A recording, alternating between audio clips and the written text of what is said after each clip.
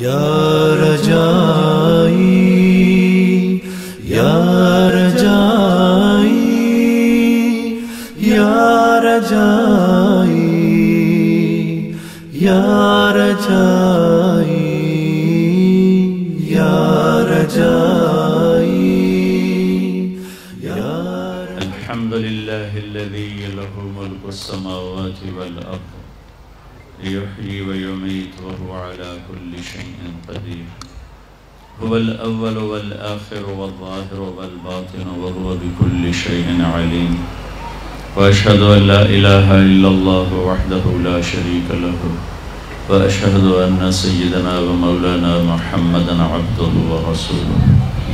أرسله بالحق بشيرا ونذيرا وداعيا إلى الله بإذنه وسراجا منيرا. صلى الله تعالى عليه وعلى آله وأصحابه وبارك وسلم تسليما كثيرا كثيرا. أما بعد. فأعوذ بالله من الشيطان الرجيم. بسم الله الرحمن الرحيم. اليوم أكملت لكم دينكم وأتممت عليكم نعمتي ورضيت لكم الإسلام دينا. وقال النبي صلى الله تعالى عليه وسلم مثلي ومثل الأنبياء من قبلي كمثل رجل بنى بيتا فأجمله وأحسنه إلا موضع لبنة في زاوية فجعل الناس يطوفون به ويعجبون له ويقولون هلا وضعت هذه فأنا اللبنة الأخيرة وأنا خاتم النبيين. وقال النبي صلى الله تعالى عليه وسلم، إن الله بعثني كافة للناس رحمة فأدوا عني. أو كما قال صلى الله تعالى عليه وسلم. میرے محترم بھائیو، دوستو، بہنوں اور بزرگوں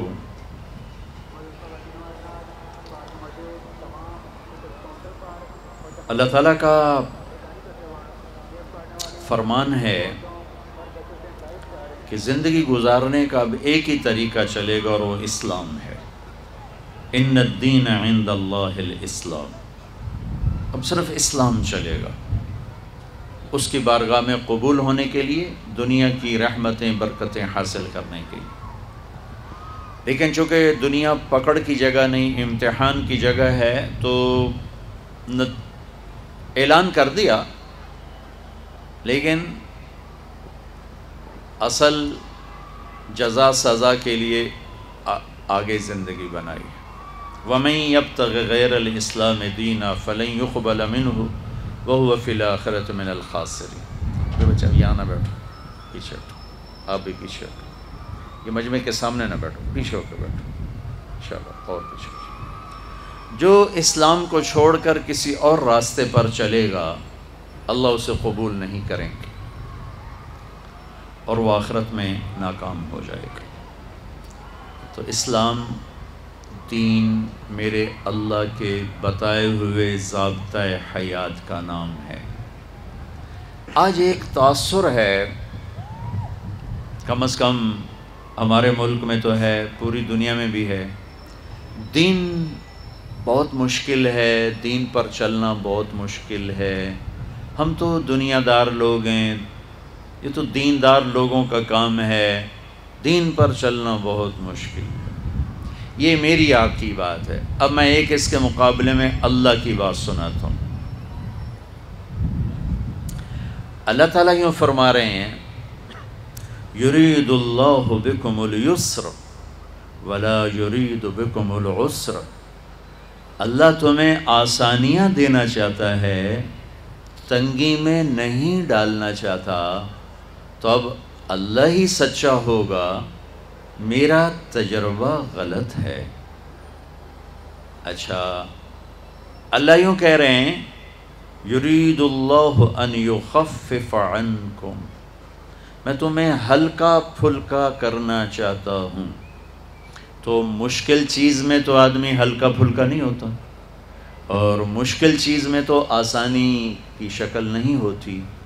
میں اور آپ کراچی والے سندھ، بلوچستان، سرحد، پنجاب والے کہہ رہے ہیں کہ دین بڑا مشکل ہے۔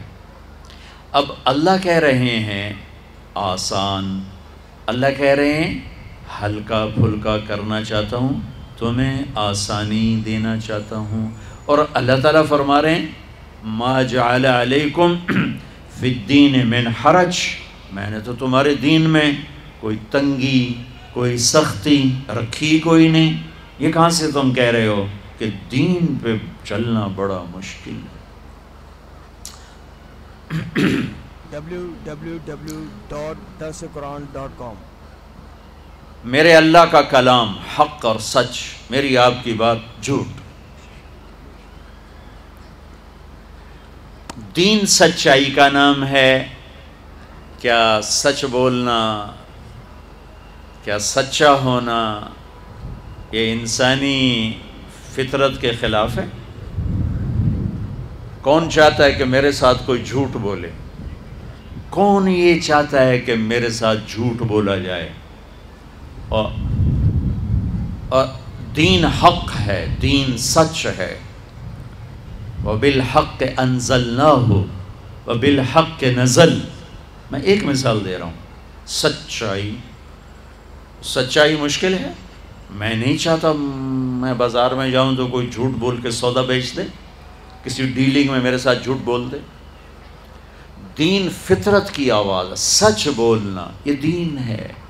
ایک اللہ کی پوجا، یہ دین ہے۔ محمد مصطفیٰ صلی اللہ علیہ وسلم کی غلامی، یہ دین ہے۔ ماں باپ کی محبت، یہ دین ہے۔ بیوی سے محبت، یہ دین ہے۔ بیوی کی خامن سے محبت، یہ دین ہے۔ خامن بیوی کی آپس میں وفا، یہ دین ہے۔ فحاشی سے بچنا، یہ دین ہے۔ شراب زنا سے بچنا، یہ دین ہے۔ سود، جوئے، جھوٹ، قتل سے بچنا، یہ دین ہے۔ ماں باپ کا اولاد کو شفقت دینا، یہ دین ہے۔ اولاد کا ماں باپ کا ادب کرنا، یہ دین ہے۔ بازار میں صحیح تولنا، یہ دین ہے۔ سچ بولنا، یہ دین ہے۔ وعدے پر پورا اترنا یہ دین ہے۔ وعدے سے نہ پھرنا یہ دین ہے۔ سودا کر کے مکر نہ جانا یہ دین ہے۔ وعدہ کر کے وقت پہ پیسے پہنچانا یہ دین ہے۔ نظروں کو حیا کے ساتھ جھکانا یہ دین ہے۔ دکھ درد و دکھیوں کی مدد کرنا یہ دین ہے۔ مال کا ایک حصہ فرض کر دیا، میرے غریب بندوں تک پہنچاؤ یہ دین ہے۔ بیماروں کا علاج یہ دین ہے، غریبوں کی بچیوں کے ہاتھ پیلے کرنا یہ دین ہے۔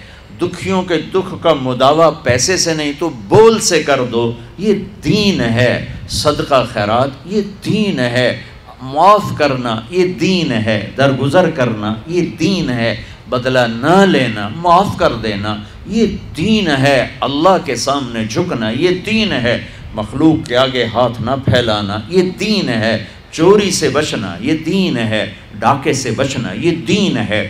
ناچ گانے، آوارگی، بے حیائی، فحاشی سے بچنا، یہ دین ہے۔ عورت کا پردے میں رہنا، یہ دین ہے۔ عورت کا حیادار ہونا، یہ دین ہے۔ مرد کا غیرت مند ہونا، یہ دین ہے۔ بوڑھوں کا ادب، احترام، اکرام، یہ دین ہے۔ علماء کی قدر، قیمت دل میں بٹھانا، ان کی خدمت کرنا، یہ دین ہے۔ کافر بھی کافر سے بھی حسن سلوک یہ دین ہے، پڑوسی کافر بھی ہو تو اس کا بھی میرے نبی نے حق بتایا، یہ دین ہے۔ یہ ساری باتوں میں کون سی بات ہے جو فطرت کے خلاف ہے؟ مشکل وہ ہوتی ہے، مشکل وہاں ہے جہاں فطرت نہ ہو۔ بھوکے کے لیے روٹی مشکل، پیاسے کے لیے پانی مشکل، تھکے ہوئے کو سونا مشکل ہے۔ کتنی فطرت کی آواز ہے؟ بستر نہیں ملا تو وہ کرسی پہ ہی بیٹھا سو رہا ہے۔ بھوک میں تازہ روٹی نہیں ملی، وہ سوکھی روٹی کے ٹکڑے کھا رہا ہے۔ پیاس میں ٹھنڈا پانی نہیں ملا، وہ جوہڑ کا، میں نے خود جوہڑ کا پانی پیا۔ ہماری جماعتیں ڈیرا غازی خان سے آگے، ہم پہاڑوں میں گئے۔ وہاں یہ نیسلے کا پانی کہاں سے آئے گا؟ جس جوہر سے جانور پیتے ہیں، وہیں سے انسان پیتے ہیں، وہیں سے ہم نے پانی پیا۔ تو چونکہ ضرورت تھی، تو آسان ہو گیا، آسان ہو گیا۔ شہر میں اس کا ہم وضو بھی نہ کریں اس سے۔ تو بھائی تو بڑا گدلا پانی ہے۔ اور وہاں پورا گلاس پیا ہے کہ پیاس ہے۔ پیاسے کو پانی کون سا مشکل ہے؟ ایو دین فطرت کی آواز ہے۔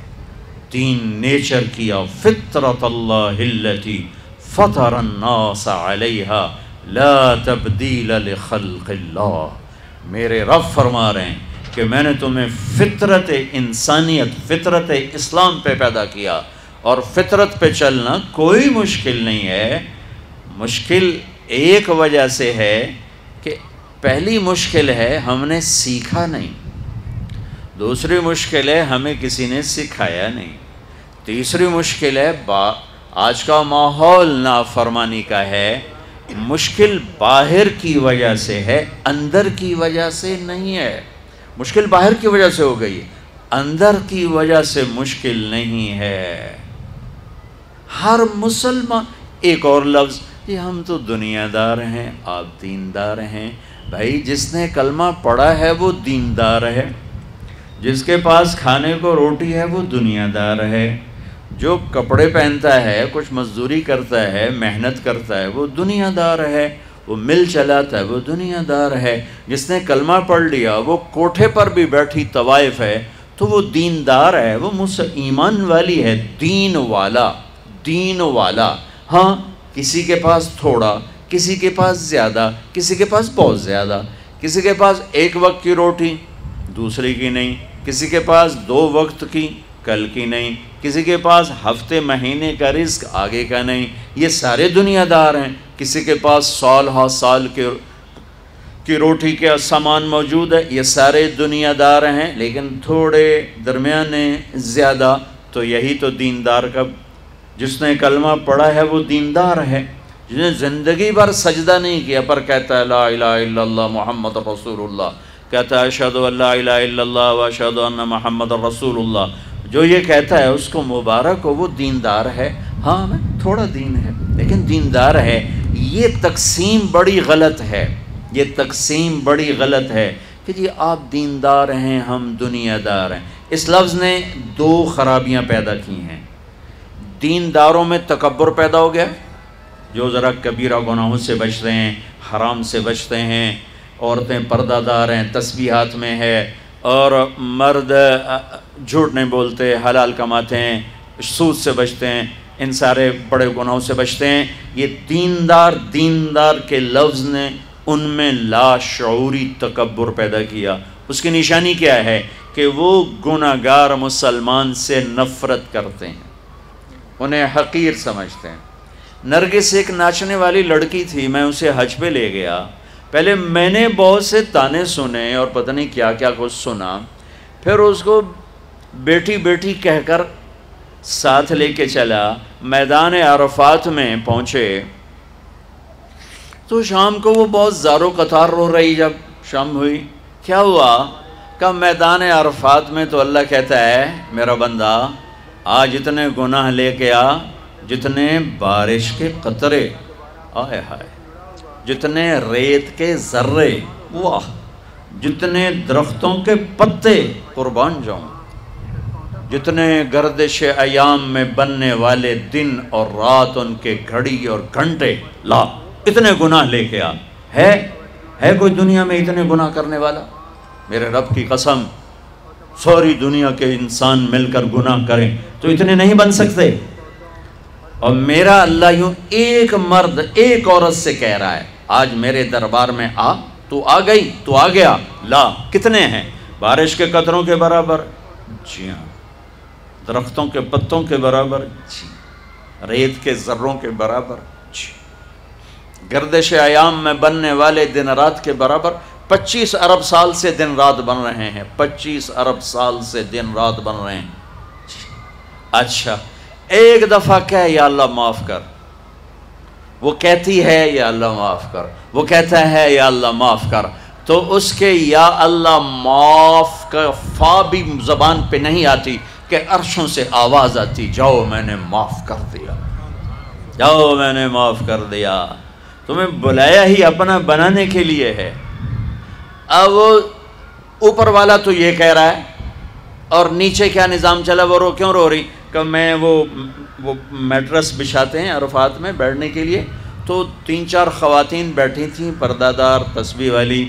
وہ جا کے بیٹھی تو انہوں نے اس کو وہ بےزت کیا، وہ بےزت کیا۔ کہ اٹھ جاؤ یہاں سے، تم اس قابل نہیں، ہمارے ساتھ بیٹھو۔ ہائے ہائے ہائے۔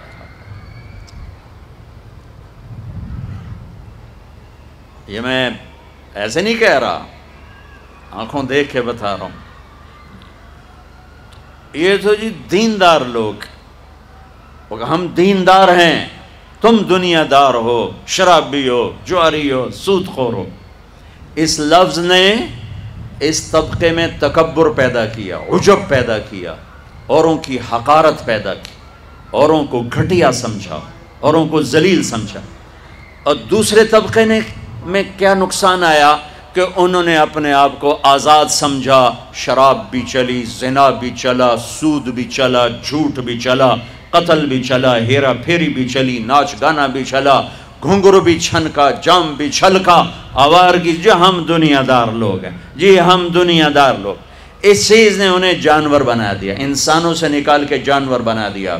اور وہ بے لگام ہو گئے۔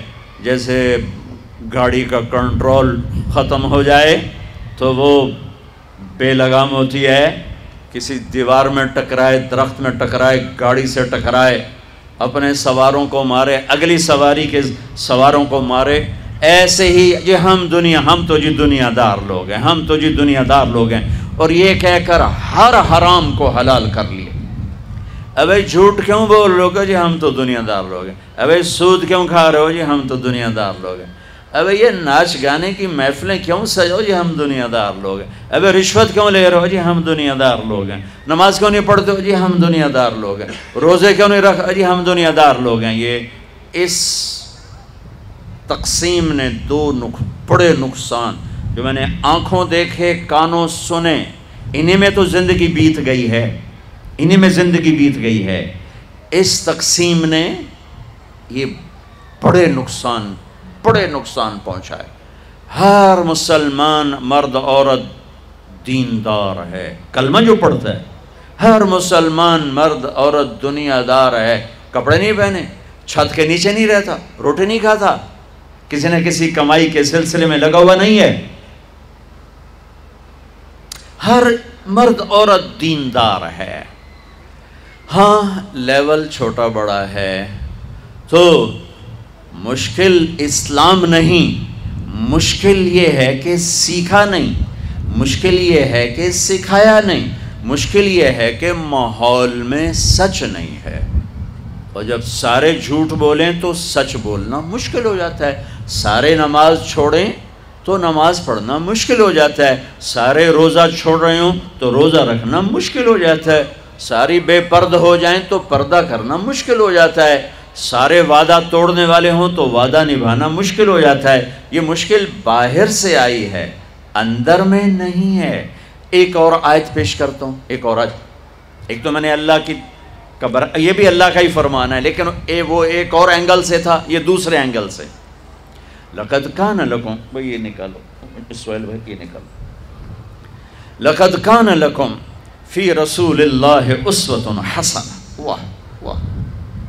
رب رب بھی ہے نا۔ اچھا اللہ نے کیا خوبصورت لفظ استعمال کیا حسن کیا کہہ رہے ہیں؟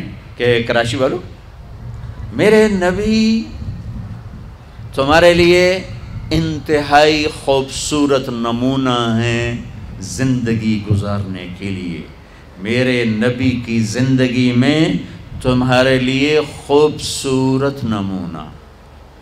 یہاں آپ آخری نبی ہیں اور آپ پر آ کر نبوت مکمل ہو رہی ہے، شریعت مکمل ہو رہی ہے اور کتاب مکمل ہو رہی ہے۔ اور میں تین لفظ حدیث سے پیش کرتا ہوں۔ اختم بکتاب ہم الکتب و بے شریعت ہم الشراع و بدین ہم الادیان۔ یہ پہلی کتابوں میں جو اللہ کا فرمان ہے وہ۔ کہ میرے نبی آ رہے ہیں، آ رہے ہیں، آ رہے ہیں۔ یہ شاہ علیہ السلام نے ارشاد فرمایا پچھلی کتابوں کا کہ جن کی کتاب پر کتابیں ختم، جن کے دین پر دین مکمل، جن کی شریعت پر شریعت مکمل، جن کی کتاب پر کتابیں مکمل۔ اس سارے بیک گراؤنڈ میں لفظ آنا چاہیے تھا، لقد کان لکم فی رسول اللہ اسوت کاملہ کاملہ۔ کہ میرے نبی کی زندگی تمہارے لیے مکمل نمونہ ہے، مکمل ضابطہ حیات ہے۔ اللہ نے کامل کا لفظ چھوڑ کر حسانہ حسانہ نیکی کو بھی کیا کہتے ہیں؟ حسانہ سبحان اللہ۔ حسانہ کسے کہتے ہیں؟ خوبصورت۔ خوبصورت۔ میرے اللہ کہہ رہے ہیں، میرے نبی تمہارے لیے بہت خوبصورت نمونہ ہیں نیکی کو کہا، خوبصورت چیز۔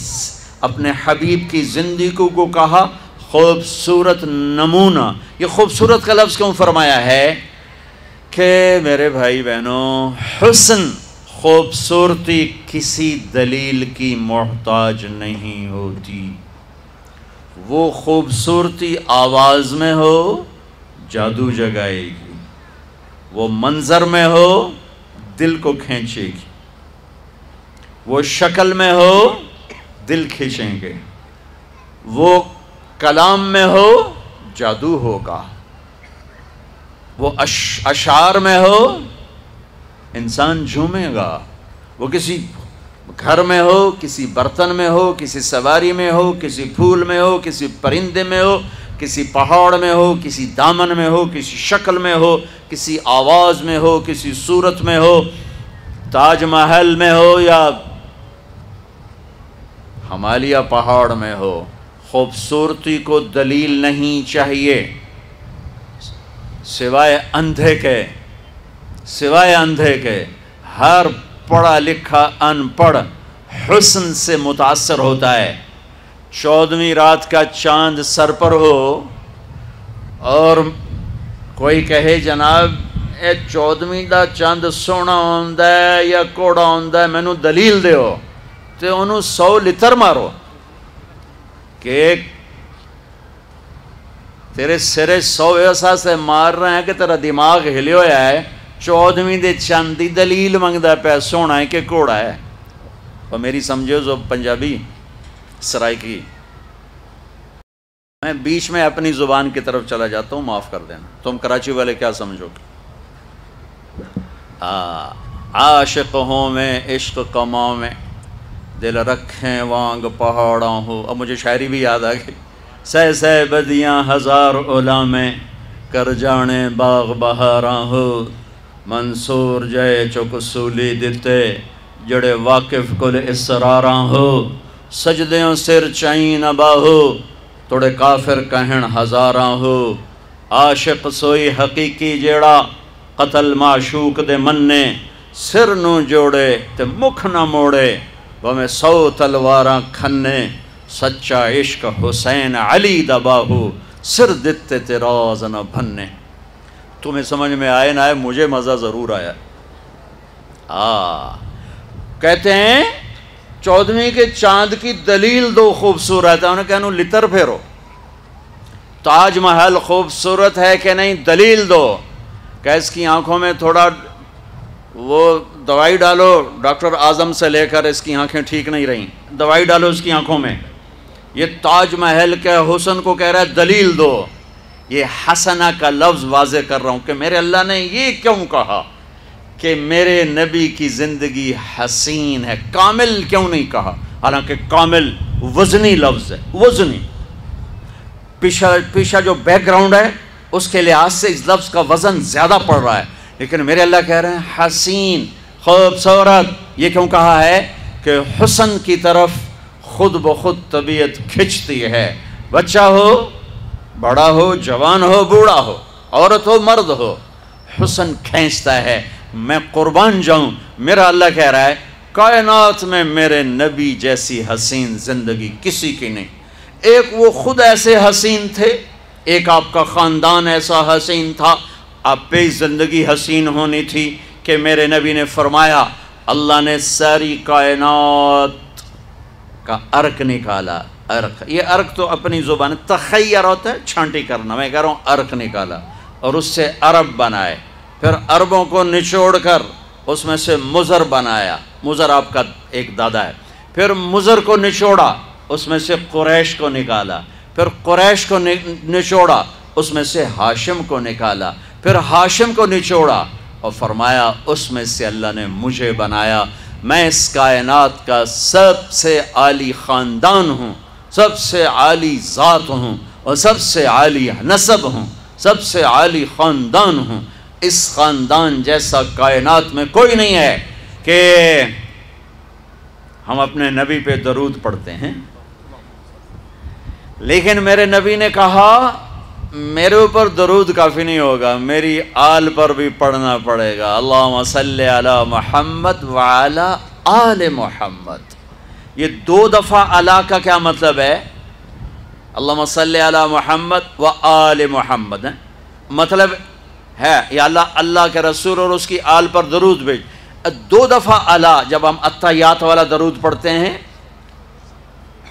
اللہم صلی علی محمد وعلی آل محمد کما صلیت علی ابراہیم۔ اللہم صلی علی محمد وعلی اللہم بارک علی محمد وعلی آل محمد کما بارکت علی ابراہیم۔ علا علا، یہ دو دفعہ علا میں یہ مطلب ہے کہ میرے نبی پر درود مستقل پڑھا جائے اور میرے نبی کی اولاد پر درود مستقل پڑھا جائے۔ یہ وہ گھر ہے جس کو درود و سلام پیش کرنا اس امت کے ذمے کیا گیا۔ اور یہ وہ خاندان ہے، میرے نبی نے فرمایا، میرے باپ عبداللہ سے آدم تک کسی نے زنا نہیں کیا۔ کسی نے زنا نہیں کیا۔ پاک نصب۔ کوئی مشرک نہیں ہے۔ آزر قرآن کہتا ہے، لے ابھی ہے آزر اب باپ کو بھی کہتے ہیں، اب چاچے کو بھی کہتے ہیں، اب دادے کو بھی کہتے ہیں، اب پردادا کو بھی کہتے ہیں۔ اور والد صرف اس کو کہتے ہیں جس کی پشت سے بچہ ماں کے پیٹ میں جاتا ہے۔ سمجھے؟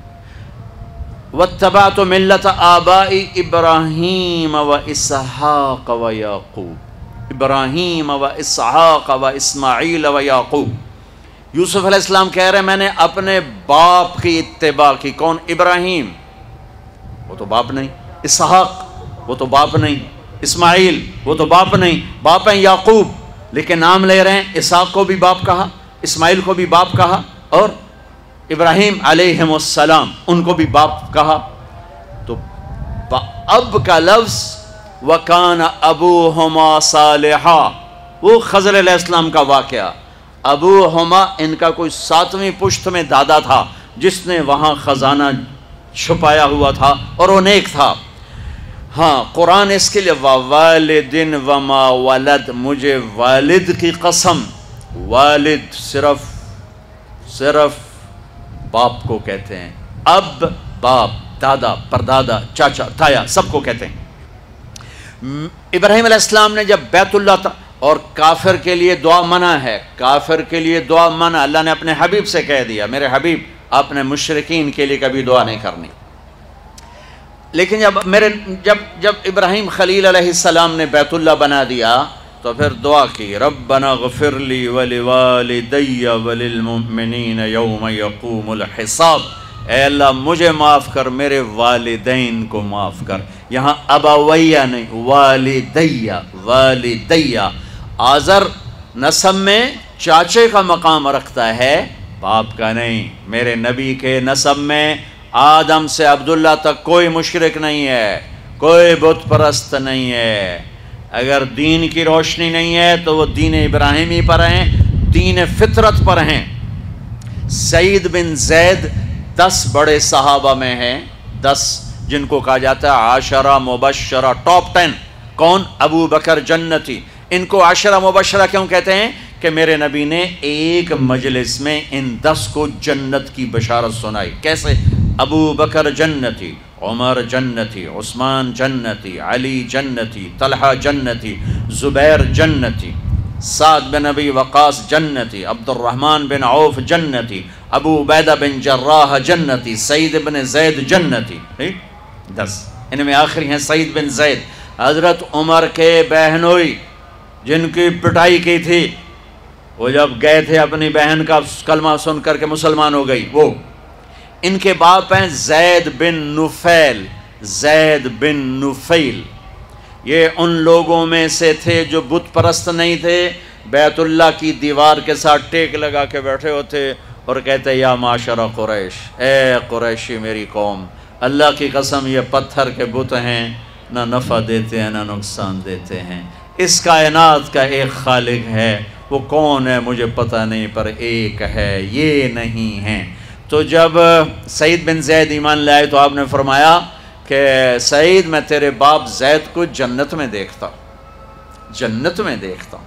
میرے نبی کے والدین میں عبداللہ سے آدم تک سب یا فطرت اسلام پر یا دین اسلام پر، اور یہ واحد ہستی ہیں جن کا نصب آدم تک جاتا ہے۔ محمد بن عبداللہ بن عبد المطلب بن ہاشم بن عبد مناف بن قصی بن کلاب بن مرہ، بن کعب، بن لوی، بن غالب، بن فہر، بن مالک، بن نظر، بن کنانہ، بن خزیمہ، بن مدرکہ، بن الیاس، بن مدر، بن نزار بن معد بن عدنان، بن اود، بن حمیسہ، بن سلامان، بن عوز بن بوز، بن قموال، بن عبی، بن عوام، بن ناشد، بن حزا بن بلداس، بن یدلاف، بن طابخ بن جاحم بن ناحش، بن ماخی، بن عیفی، بن عبقر، بن عبید، بن الدعاء، بن حمدان، بن سنبر بن يثربي بن يحزن بن يلحن بن إرعوة بن عيزي بن زيشان بن عيسر بن أقناط بن إيهام بن مقصر بن ناحث بن زار بن سمي بن مزي بن عوض بن عرام بن قيدار بن إسماعيل بن إبراهيم بن طارق بن ناحور بن سروج بن رعود بن فائج بن عابر بن أرفق شاد بن سام بن نوح بن لامك بن متوشال بن إدريس بن يرد بن ملهل إيل بن قينان بن آنوش، بن شيس وبن آدم عليه الصلاة والسلام۔ آها لقد كان لكم في رسول الله أسوة حسنة جو اس کا خاندان ایسا حسین ہے، زندگی حسین کیوں نہ ہوگی؟ یہ تو میں نے بتایا، خاندان حسین۔ اب میں بتا رہا ہوں، آپ کی ذات کیسی حسین ہے؟ لقد جاءکم رسول من انفسکم لقد جاءکم رسول من انفسکم۔ اس لفظ کو دونوں طرح پڑھ سکتے ہیں۔ میں نے پہلے واضح کیا ہے، لقد جاءکم رسول من انفسکم۔ سب سے نفیس عالی نصب عالی حضب عالی خاندان۔ یہ پڑھتے ہیں افریقہ میں افریقہ میں۔ میں گیا ہوں افریقہ، وہاں یہ یوں پڑھا جاتا اب ہم پڑھتے ہیں لقد جاءکم رسول من انفسکم۔ اب میں انفسکم کو بتانے لگا ہوں۔ کہ اللہ تعالیٰ کہہ رہا ہے؟ دیکھو تو صحیح ذرا میرے حبیب کو دیکھو تو صحیح اس کی ذات تو دیکھو اس کی صفات تو دیکھو اس کا روپ تو دیکھو اس کا رنگ تو دیکھو اس کی چال تو دیکھو اس کی گفتار تو دیکھو اس کے اخلاق تو دیکھو اس کی حیا دیکھو اس کی پاک دامنی دیکھو اس کی چال دیکھو اس کا بول دیکھو اس کا بیٹھنا دیکھو اس کا اٹھنا دیکھو اس کا ملنا دیکھو اس کی عبادت دیکھو اس کی بندگی دیکھو اس کا گھرانہ دیکھو، اس کا گھر میں سلوک دیکھو، اس کا پڑوسیوں سے سلوک دیکھو، دشمن سے سلوک دیکھو، اپنوں سے سلوک دیکھو، غیروں سے سلوک دیکھو۔ دیکھو تو صحیح یہ ذات، کیسی ذات ہے۔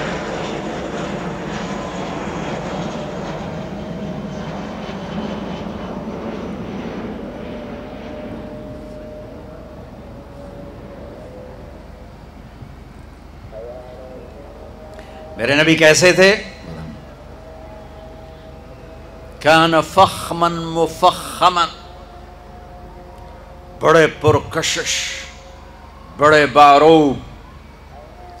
اطول من المروع و اقصر من المشذب. نہ بہت لمبا قد، نہ بہت چھوٹا، درمیانے سے کچھ لمبا. لیکن ایک موجزہ نبوت، ایک کرامت رسالت. لمبے سے لمبے قد والا جب میرے نبی کے ساتھ کھڑا ہوتا تھا، تو آپ کا قد سر اس سے اونچا ہوتا اور دوسرے کا نیچا ہوتا تھا۔ آپ کے برابر کوئی ایسے نظر نہیں آیا۔ ہمیشہ آپ کا سر بلند ہوتا تھا، دوسروں کا نیچے ہوتا تھا۔ اور جب وہ جدا ہوتا، تو آپ اپنے اصل قد میں نظر آتے۔ اور جب وہ قریب آتا، تو آپ ایسے اونچے نظر آتے تھے۔ میرے رب نے اپنے حبیب کے سر کو ہمیشہ اونچا رکھا ہے۔ جو اس کا غلام بنے گا، اس کا سر بھی اونچا ہو جائے گا۔ اللہ کی قسم پیسے سے اونچے نہیں ہو سکو گے، شہرت سے اونچے نہیں ہو سکو گے، طاقت سے اونچے نہیں ہو سکو گے، مال دولت سے اونچے نہیں ہو سکو گے۔ عہدوں، ڈگریوں سے، کاروبار، مل سے، فیکٹریوں سے اونچے نہیں بن سکو گے۔ اونچائی چاہتے ہو تو اس کے پیچھے چلو۔ جس کے سامنے آسمان بھی سکڑ گئے اور منتہا بھی اسٹیشن بنا اور عرش بھی اسٹیشن بنا اور سارے نور کے پردے اٹھ کر اللہ اور حبیب اللہ آمنے سامنے ہوئے۔ اتنی بلندیاں جو لے کر آئے، ان کے پیچھے چلو گے تو بلندیاں ملیں گی۔ یہ کیا پیسے کا پجاری، یہ کیا مال کا پجاری یہ کیا دھن دولت کا پجاری، یہ کیا کاروبار کا پجاری، یہ کیا کرسی کا پجاری، یہ دنیا دھوکے کا گھر، یہ مچھر کا پر یہ مکڑی کا جالا، اس پہ ایمان کا سودے کرنے والا، اس پہ غیرت کے سودے کرنے والا، اس پہ ضمیر کو سلا دینے والا، اس پہ حیا کو بیچ دینے والا، دنیا اور آخرت کا ناکام شخص ہے، ناکام عورت ہے۔ اللہ کی قسم یہ مٹ جانے کا گھر ہے۔ یہ ٹوٹ جانے کا گھر ہے، یہ وچھوڑے دی جائے، وچھوڑے دی جائے۔ یہ رہنے کی جگہ نہیں ہے۔ تو کہر سحوس کو چھوڑ میاں متدیس بدیس پھرے مارا۔ قزاق اجل کا لوٹے ہے۔ اجل موت کو کہتے ہیں، قزاق ڈاکو کو کہتے ہیں۔ قزاق اجل کا لوٹے ہے۔ دن رات بجا کر نقارا کیا بدیا بھینسا بیل شتر، کیا گونی پلہ سر بھارا کیا گیہوں چاول موٹ مٹر، کیا آگ دھواں اور انگارا، سب ٹھاٹ پڑا رہ جائے گا۔ جب لاد چلے گا ونجارا۔ اٹھتے جنازے دیکھو۔ ہاں ڈیڈ باڈی۔ مولانا طارق جمیل کہلانے والا۔ اس کے بچے کہیں گے، میت، جنازہ، ڈیڈ باڈی۔ بادشاہ ملک سلطنت کا مالک مر گیا۔ ولی عہد کہے گا، میت اٹھاؤ، جنازہ اٹھاؤ، ڈیڈ باڈی اٹھاؤ، کوئی نہیں کہے گا اماں جی کو اٹھاؤ، کوئی نہیں کہتا ماں جی کو اٹھاؤ۔ اولاد کہتی، میت اٹھاؤ میت اٹھاؤ۔ یہ یہ اس کے لیے ایمان بیچ دوں، اللہ کو ناراض کر دوں، آخرت کے سودے کر دوں۔ اس دھوکے کے گھر کے لیے، اس مچھر کے پر کے لیے، اس مکڑی کے جالی کے لیے۔ میرے رب کی قسم، ساری دنیا پالی اور اللہ کھو دیا تو ہار گئے۔ اور ساری دنیا چھن گئی، اللہ پا لیا تو جیت گئے۔ یہی تو حسین کا فلسفہ ہے کربلا میں کہ ساری نسل ذبح کرا کے اللہ کو جو پایا، تو کامیابی کے سہرے۔ آہا، آج تک گلے میں ہیں۔ سر میں سر کا تاج بنے، گلے کا ہار بنے۔ اور یزید اور اس کے چہلے چانٹوں نے ملک بچایا اللہ کو چھوڑ دیا تو آج تک لانت کا توق ان کے گلے میں ہے اور ذلت کا بدنما داغ ان کے ماتھے پر ہے۔ ان کی قبروں پر جہاں جہاں وہ نحوست اور لانت اور پھٹکار برس رہی ہے۔ اور جو خون دے گئے، جان دے گئے، اولاد ذبح کرا گئے، نیزوں پہ چڑھ گئے۔ آل رسول نہیں، جگر گوشہ آل رسول تو بہت لمبی ہے۔ آج بھی کراچی میں ہوں گے، پوری دنیا میں ہیں۔ وہ جگر گوشہ رسول، وہ نواسہ رسول۔ اور یہ وہ جن کو میرے نبی نے کہا، اللہ میں ان سے پیار کرتا ہوں، تو بھی ان سے پیار کر۔ اور آہا، اگلی خوشخبری، اور جو ان سے پیار کریں، ان سے بھی تو پیار کر۔ اور جو ان سے بغض رکھیں، تو ان سے بغض رکھ۔ جو ان سے پیار کریں، تو ان سے پیار کر۔ اللہ میں ان سے پیار کرتا ہوں۔ تو بھی ان سے پیار فرما۔ اتنی بڑی ہستیاں جنہیں گود کھلایا، جنہیں کندھوں پہ بٹھایا، جنہیں کمر پہ بٹھایا۔ جو نماز میں سواری کر رہے ہیں، اپنے نانا کی پشت پر بیٹھ کر سجدہ لمبا کر دیا، بچے کو بچے کو نہیں ہٹایا، سجدہ لمبا کر دیا۔ اتنی بڑی ہستی۔ ساری پانچ بھائی، تین بیٹے، تین بھتیجے کتنے بھتیجے سترہ میرے نبی کے خاندان کے ذبح ہوئے۔ لیکن مبارک ہو انہیں، ان کو اللہ مل گیا، اللہ مل گیا۔ یزید کو تین بر اعظم ملے، پر اس کی زندگی بھی لعنت۔ اور اس کا، میں اپنی کیا سناؤں؟ میں اس کے بیٹے کی سناتا ہوں۔ معاویہ بن یزید رحمت اللہ علیہ، یزید کا بیٹا۔ باپ مرا تین بر اعظم کی حکومت، تین بر اعظم کی حکومت۔ اور عمر کتنی؟ بائیس سال بائیس سال۔ یزید، بیالیس سال کی عمر میں مر گیا تھا، جوانی میں۔ چالیس دن حکومت کی، چالیس دن۔ اور سارا بنو امیہ کٹھا کیا۔ اور سارے سردار عرب کٹھے کیے۔ ایک چھوٹا سا خطبہ دیا۔ کہا، لوگو، میرا باپ ظالم تھا۔ اس نے ظلم سے اس تخت کو قائم کیا۔ اور اس نے آل رسول کا خون بہایا۔ میں اس تخت پر لانت بھیجتا ہوں جس کے نیچے حسین کا خون ہو۔ یہ ہے تمہاری حکومت، یہ ہے تمہارا تخت۔ جاؤ جس کو مرضی دے دو، مجھے نہیں چاہیے۔ میرا تاجر سود نہیں چھوڑتا، میرا پاکستان کا تاجر جھوٹ نہیں چھوڑتا، ہیرا پھیری نہیں چھوڑتا، میرا دفتر کا افسر رشوت نہیں چھوڑتا۔ وہ کہتا ہے، اس کے بغیر کام نہیں چلتا۔ اور یزید کے بیٹے نے تین بر اعظم پہ لات مار دی اور لانت برسا دی کہ میں اللہ کو چاہتا ہوں، مجھے تین بر اعظم نہیں چاہیے۔ آہا۔ ہائے ہائے ہائے ہائے ہائے ہائے۔ پانی دو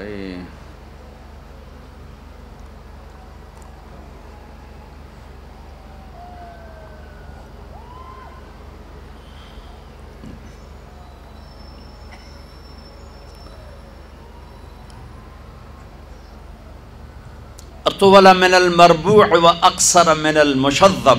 گھرانہ گھرانہ گھر. میں تو اولاد پہ درود بھیجنے کا حکم، پر انہوں نے اللہ کو راضی کرنے کے لیے اپنا سب کچھ قربان کیا. پیغام پہنچا دیا کہ یوں اللہ کو راضی کیا جاتا ہے. کہ میں دوبارہ آتا ہوں. میرے نبی کیسے تھے؟ کیسے تھے؟ یہاں سے شروع کرتا ہوں. عظیم الحامہ بڑا سر. بال کیسے تھے؟ رجل الشعر. نیم گھنگریالے بال کول سیاہ۔ داڑھی کیسی تھی؟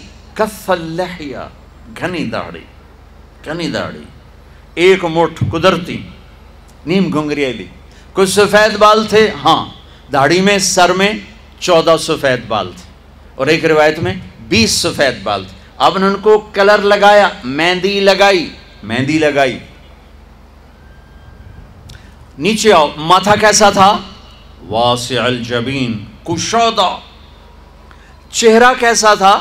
یتلال وجہہ، تلال القمر لیلت البدر۔ چودویں رات کے چاند کی طرح چہرہ چمکتا تھا۔ چودویں رات۔ جابر بن سمرہ کہتے ہیں چودویں کا چاند سر پہ تھا اور ہمارے محبوب ہمارے درمیان تھے۔ ہم مسجد کے سہن میں تھے۔ کہ میں کبھی چاند دیکھتا کبھی آپ کو دیکھتا اور آپ نے سرخ دھاری دار چادر اڑی ہوئی تھی، ایک دھاگا سیاہ، ایک سرخ۔ میں یوں دیکھتا، پھر یوں دیکھتا، تو مجھے میرے نبی چاند سے زیادہ حسین نظر آ رہے تھے۔ ماتھا، اب اب اب ایک ایک جز، ایک ایک جز۔ ماتھا، واسع الجبین، کشادہ۔ بھمیں، ازج سوابغ من غیر قرن تین صفات بھمیں گھنی اور کمان کی طرح گول جیسے عورتیں کر کے وہ میک اپ کر کے بناتی ہیں، ایسے مصنوعی طرح گول۔ میرے نبی کی اللہ نے گول بنائی، پوری آنکھوں پر ان کو یوں گھمایا۔ اور من غیر قرن یہاں بال نہیں۔ اے یہاں بال نہیں، چونکہ یہاں بال خوبصورتی کو گہنا دیتے ہیں۔ یہاں بال نہیں تھے۔ یہاں ایک رگ تھی، بینہما عرق یدرہ الغضب۔ یہاں ایک رگ تھی۔ جب آپ کو غصہ آتا تھا تو آپ اظہار تو فرماتے نہیں تھے ہماری طرف۔ آپ برداشت فرماتے تھے لیکن اس کا جو ریئیکشن ہوتا تھا تو یہاں ایک رگ ایسے ایسے ایسے پھڑکتی تھی پھڑکتی تھی۔ نیچے آؤ، آپ کی آنکھیں کیسی تھیں؟ اداج اور اشکل اور انجل اور ابرج اور احور اور اکحل۔ واہ واہ واہ۔ اور اہدب۔ سات صفات ہے میرے نبی کی آنکھوں کی۔ اور جس کا خلاصہ یہ ہے کہ ایسی آنکھ کبھی اللہ نے کسی کو دی ہی نہیں، ایسی آنکھ بنائی ہی نہیں۔ آنکھیں پرکشش ہوں تو باقی کمزوری کو بھی وہ چھپا دیتی ہیں۔ سارا چہرہ خوبصورت ہو اک کھا جاوے، چین چین چو تو سارا حسن ہی بیڑا بڑھ جاندہ ہوتا۔ تو میرے نبی کی آنکھ اداج موٹ اشکل لمبی، اس میں سرخ دھاریاں سرخ دھاریاں، اکحل بغیر سرمے کے سرما اہدب یہ بال بڑے لمبے، چمکدار، انجل، ابرج، اہدب، احور، اکحل، ادعج، اشکل، اکحل، یہ سب میرے نبی کی آنکھ کا حسن و جمال ہے، کمال ہے کہ جب ایسے آپ آنکھ اٹھاتے تھے، آپ حیا کی وجہ سے آنکھ اٹھا کے مردوں کو بھی نہیں دیکھتے تھے۔ عورت تو عورت سے۔ ملتے تھے، عورتوں سے ملتے تھے، لیکن آنکھ نہیں اٹھتی تھی۔ حیا کی وجہ سے۔ میری نسل رات کو ساری رات کیا تباہی، بے حیائی، بے غیرتی میں ڈوبی ہوئی دیکھ رہی ہے۔ ہمیں مارنے کے لیے ایٹم بم نہیں چاہیے۔ ہماری بے حیائی ہمیں لے ڈوبے گی اگر توبہ نہ کی۔ آپ یوں دیکھتے تھے، یہ آپ کے دیکھنے کا میں نہیں کر، لفظ کا ترجمہ کر رہا ہوں۔ جلو نظر اس لفظ کا آپ دیکھتے تھے کنکھیوں سے نظریں جھکا کے۔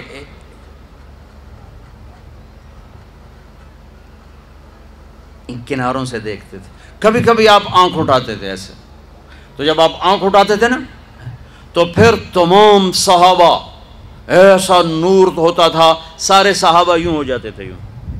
ایک آنکھ آپ کے چہرے پر نہیں پڑتی تھی۔ سب ایسے ہو جاتے تھے۔ صرف دو آدمی، صرف دو آدمی، صرف دو آدمی آپ کو اس وقت دیکھ سکتے تھے۔ ایک ابو بکر اور ایک عمر، بس۔ باقی کوئی نہیں دیکھ سکتا تھا۔ وہ آپ کو دیکھ کے مسکراتے، آپ انہیں دیکھ کے مسکراتے۔ ایک دفعہ مسجد میں داخل ہوئے تو آپ کے دائیں ابو بکر تھے اور بائیں عمر تھے، آپ نے یوں ہاتھ پکڑا اور یوں ہاتھ پکڑا اور فرمایا، دیکھ رہے ہو، یہ ابو بکر، یہ عمر۔ اگر دیکھ رہے ہو ہا قزا نحشر یوم القیامہ۔ قیامت کے دن ہم تینوں اس طرح قبر سے نکلیں گے کہ میرے دائیں طرف ابو بکر ہوگا، میرے بائیں طرف عمر ہوگا آپ کا ناک کیسا تھا؟ اقن العرنین، یہ باریک، یہاں سے باریک، اور تھوڑا سا، ہلکا سا یہاں سے اوپر ہو ہلکا سا، اشم، ہلکا سا، یہاں ایک نور جگمگ کرتا تھا۔ گال کیسے تھے؟ سہل الخدین، برابر۔ پچکے ہوئے، کمزوری کی علامت، ابھرے ہوئے، موٹاپے کی علامت، گول، خوبصورت، سہل، خوبصورت گولائی میں۔ اور یہ جگہ یہ جگہ۔ یاقوت کی طرح، مرجان کی طرح، انار کی طرح جگمگ کرتی تھی، سرخ، سفید۔ ہونٹ کیسے تھے؟ ولی الفم، چوڑا منہ۔ تراشیدہ، تراشے ہوئے ہونٹ۔ خوبصورت، جب وہ کھلتے تھے، اس میں سے دانت چمکتے، باہر آتے تھے، مسکراتے ہوئے، تو کیا ہوتا تھا؟ براق ثنایا ہاں ہاں جب آپ مسکراتے تھے، تو دانتوں سے نور نکل کے دیواروں پہ پڑتا تھا۔ ایسے ایسے۔ جیسے یہ ٹوتھ پیسٹ والے نے، انہوں نے وہ مصنوعی چٹا رنگ کر کے دندا نو وکھایا ہوں مصنوعی رنگ۔ تو او ہے، میرے نبی کو میرے رب نے کیا دان دیے تھے جب مسکراتے، دانتوں کا نور دیواروں پہ پڑتا تھا۔ گول آئی میں دہڑی۔ کنگھی کا سلیقہ کیا تھا؟ کنگھی فرماتے تھے، کبھی مانگ نکالتے تھے، کبھی بغیر مانگ نکالے بالوں کو پیچھے لے جاتے تھے۔ یجاوز شعرہ شہمت اذنی۔ یہاں تک یہاں تک آپ کے بال ہوتے تھے عام طور پر۔ کبھی کبھی گردن تک، کبھی شانوں تک۔ زیادہ زندگی بھر یہاں کا دستور تھا۔ کنگھی کرنا، تیل لگانا سرما لگانا آپ کی مستقل زندگی بھر کی عادت تھی۔ آپ نے ارشاد فرمایا اپنی بیویوں کے لیے زیب و زینت اختیار کرو، میں قربان جاؤں۔ میں تو آپ کو نبی کا دین بتا رہا ہوں۔ آپ کا تو دین بڑا اوکھا کام، بیوی واسطے چنگے کپڑے پاؤنا اوکھا کام۔ میرے نبی نے کہا، اپنی بیویوں کے لیے زیب و زینت اختیار کرو۔ سبحان اللہ۔ عورتوں سے کہا، واہ واہ، قربان جاؤں۔ اشارتاً اشارتاً۔ ہمیں مردوں کو سراہتاً عورتوں کو اشارتاً۔ اپنی بیویوں کے لیے زیب و زینت اختیار کرو۔ بنو اسرائیل میں زنا اس لیے پھیلا کہ مردوں نے بیویوں کے لیے زیب و زینت چھوڑ دی تو وہ غیر مردوں کی طرف مائل ہو گئیں۔ اور پھر عورتوں کو فرمایا کہ خامدوں کے لیے تیار ہو۔ کیسے؟ آپ نے فرمایا، جنت کی حور، جنت کی حور اپنے خامند کے لیے ایسے تیار ہوگی جیسے ام سلمہ میرے لیے تیار ہوتی ہیں۔ سبحان اللہ سبحان اللہ۔ ابھی عورتوں نے شادی پہ جانا ہو تو بیچارے مرد دی مصیبت آئی ہوندی ہے۔ وہ ترائے جتیاں تروٹ جاندیاں کپڑے ڈھو ڈھو کے۔ اور خامند کے لیے تیار ہونا ہو تو انہوں موت پہ جاندی۔ اپنے خامدوں کے لیے تیار ہو۔ ورنہ وہ اور عورتوں کی طرف مائل ہو جائیں گے۔ یہ اس میں خفیہ پیغام ہے۔ میرے نبی حیا والے ہیں۔ پاکیزہ زبان، پاکیزہ ذات۔ مردوں کو سراہتاً فرما دیا۔ اپنی عورتوں کے لیے تیار ہوا کرو۔ بنو اسرائیل میں اس وجہ سے فحاشی پھیلی۔ اور پھر اشارت جنت کی حور اپنے خامند کے لیے ایسے تیار ہوتی ہے جیسے ام سلمہ اللہ کے رسول کے لیے تیار ہوتی ہیں۔ جب حضرت فاطمہ رضی اللہ تعالیٰ عنہ کی شادی ہوئی اور نکاح ہو گیا اور رخصتی ایک ماہ بعد، دو ماہ بعد، چھ ماہ بعد، ایک سال بعد، یا فوراً یہ ساری روایات ہیں، لیکن زیادہ صحیح ہے کہ کچھ عرصے بعد رخصتی تھی، فوراً نہیں تھی۔ تو جب حضرت علی نے آ کے رخصتی کا مطالبہ کیا حضرت ام ایمن کے ذریعے سے، تو آپ نے حضرت حفظہ اور حضرت ام سلمہ اور حضرت عائشہ ان تینوں سے فرمایا کہ تمہیں تم جانتی ہو نا میری بیٹی فاطمہ مجھے کتنی محبوب ہے، میری بیٹی کو دلہن بناؤ۔ اللہ اکبر۔ میری بیٹی کو تیار کرو۔ یہ میں دین بیان کر رہا ہوں۔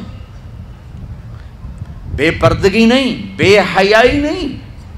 زیب و زینت میرے دین کا حصہ ہے۔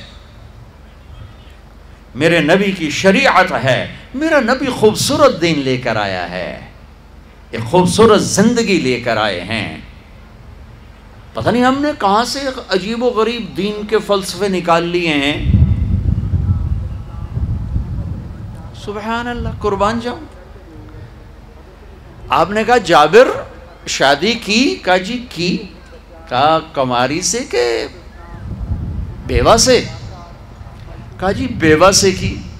کہا اللہ بکرن فتلاعبک و تلاعبها ارے تو نے کماری سے کیوں نہ کی؟ وہ تجھ سے کھیلتی، تو اس سے کھیلتا۔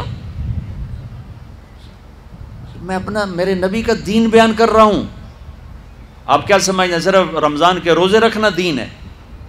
حضر ہاں وہ دین ہے، بہت بڑا حصہ ہے دین کا۔ عبادت میرے دین کی، بیس ہے۔ بیس ہل گئی تو ساری عمارت گر جائے گی۔ نماز نکل گئی، روزہ نکل گیا، زکوٰۃ نکل گئی، حج نکل گیا، پیچھے کیا رہ گیا؟ ساری عمارت ٹوٹ گئی۔ لیکن یہ بیس کو عمارت نہیں کہتے۔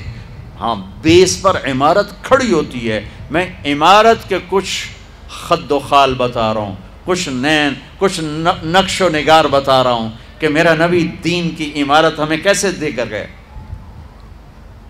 کبھی آپ نے میلا کپڑا نہیں پہنا، پرانا کپڑا پہنا۔ پیبند لگا کپڑا پہنا، میلا کپڑا زندگی بھر نہیں پہنا، زندگی بھر۔ اور آپ کے بدن مبارک سے، آپ کے پسینے سے ایسے خوشبو آتی جیسے مشک سے خوشبو آتی۔ دنیا کے سب سے مہنگی خوشبو۔ آپ حضرت ام سلیم کے گھر میں آرام فرما رہے تھے، دوپہر کے وقت، دوپہر پر تو آپ یوں کر کے سوئے ہوئے تھے، یوں یوں۔ یہ کوہنی آگے نکلی ہوئی تھی۔ آنکھ کھلی تو دیکھا، ام سلیم نے یہاں بوتل رکھی ہوئی، یہاں یہاں۔ تو آپ نے کہا، کیا کر رہی ہو؟ تو وہ کیا تھا؟ چونکہ گرمی، پنکھے تو ہے نہیں، پسینہ یہاں سے نیچے گر رہا تھا۔ ام سلیم نے نیچے بوتل رکھی ہوئی تھی اور وہ سارا پسینہ اس کے اندر جمع کر رہی تھی، جمع کر رہی تھی۔ کہا، ام سلیم، کیا کر رہی ہو؟ کہا، یا رسول اللہ، یہ آپ کا پسینہ کٹھا کر رہی ہوں۔ یہ مشک سے زیادہ خوشبودار ہوتا ہے۔ میرے نبی نے کبھی گندے کپڑے نہیں پہنے، کبھی میلے کپڑے نہیں پہنے۔ پرانا پہنا ہے پیوند لگا پہنا ہے۔ میلا نہیں پہنا۔ میرا دین یہ نہیں کہتا کہ ایسی شکل میں آ جاؤ کہ لوگ بھاگنے لگ جائیں۔ ہاں ہاں۔ میرے نبی کیسے تھے؟ ان عنقه جید دمیت فی صفاء الفضہ۔ گردن کیسی تھی؟ سراہی دار سراہی دار۔ سینہ کیسا تھا؟ عرید الصدر، چوڑا۔ کندھے بعید ما بین المن کے بین کندھوں کا درمیانی فاصلہ کافی لمبا، کھلا کھلا۔ بازو کیسے تھے؟ طویل الزندین لمبے۔ انگلیاں کیسی تھیں؟ سائل الاطراف۔ انگلیاں مخروطی، لمبی۔ ہتھیلی کیسی تھی؟ رہبر راہا کشادہ۔ یہ ہتھیلی کے پیچھے ہاتھ کیسا تھا؟ شفن الکفین والقدمین۔ یہاں رگیں نظر نہیں آتی تھی یہ میری رگیں نظر آ رہی آپ کی رگیں نظر نہیں آتی تھی۔ گوشت اب پاؤں پر بھی۔ پاؤں کیسے تھے؟ مسیح القدمین بڑے نرم و نازک پاؤں۔ جب آپ وضو کرتے تھے، پانی یوں پھسلتا تھا جیسے تیل لگا ہوا ہے۔ سینہ پیٹ کیسا تھا؟ سوا البطن و صدر۔ سینہ اور پیٹ برابر۔ میرے نبی نے موٹاپے کو انتہائی ناپسند کی ایک موٹا آدمی سامنے آیا تھا آپ نے اس کی توند میں انگلی ماری، کہ یہ چربی کسی اور جگہ ہوتی تو کتنا اچھا ہوتا۔ ہمارے کتنے بہن بھائی ہیں، آپ سجے پاسے ہوں جن، پیٹ کھبے پاسے ہوں۔ یا آپ کھبے پاسے تھے پیٹ سجے پاسے۔ ہنسنا شروع کریں تو منہ سے نہیں ہنستے، پیٹ سے ہنستے، پڑ پڑ پڑ یوں ہو رہا ہوتا۔ میرے نے کھا کھا تباہی پھیر دیں دیں ابھی رمضان آ رہا ہے تم اپنے دشمن بن جاؤ گے۔ سموسے کھا، پکوڑے کھا، حلوے کھا جڑی شاید نہیں کھاونی وہ بھی رمضان اچ کھا۔ پچھے ڈٹھے پہ ہوں ترابیاں کے میں پڑی ہوں تو اٹھیا ہی نہیں جاندا۔ تو تسی نہ کھاؤ آ پانچ من شاید کھا کھا فنائی پھیر کے پھر کہتے ہیں جی جب ترابی تو پڑی نہیں ہے۔ وہ اللہ بندے دو کھجور کھا کے سادہ پانی کا گلاس پی کے تو روزہ افطار کر، پھر کوئی تھوڑا بہت پھل کھا لے، پھر تراوی پر پھر جتنا مرضی کھول کے کھا، جتنا مرضی کھا۔ صرف حلال کھانا فرض نہیں ہے۔ حلال کھانے میں صحیح کھانا بھی فرض ہے۔ اللہ نے کھانے کا طریقہ میرے نبی نے کھانے کا طریقہ بھی بتایا۔ زندگی کا طریقہ بھی بتایا۔ آخرت کا طریقہ بھی۔ وطین وزیتون میں ادھر نہیں جاتا ہوں، صرف اشارہ کر رہا ہوں کہ میرا رب، اس میں پورا میرے رب کی قسم۔ ڈائٹ ڈائٹ چارٹ ہے، ڈائٹ چارٹ ہے۔ وہ تین و زیتون ڈائٹ چارٹ۔ میرے رب کہہ رہا ہے، مجھے زیتون کی مجھے انجیر کی قسم، مجھے زیتون کی قسم۔ اس میں اللہ ایک لمبا چوڑا فلسفہ بتا رہا ہے کہ کھانے میں احتیاط کرو۔ حلال کھاؤ، اندھا دھند نہ کھاؤ۔ اگر اللہ چاہتا تو یہاں سموسے کی قسم کھاتا، مجھے سموسے کی قسم، مجھے پکوڑے کی قسم۔ اب مجھے یہ کراچی والوں کی بریانی کی قسم۔ جتنا مزے کا کھاتے ہو، اتنا اوکھا نکالتے ہو اسے۔ آہا۔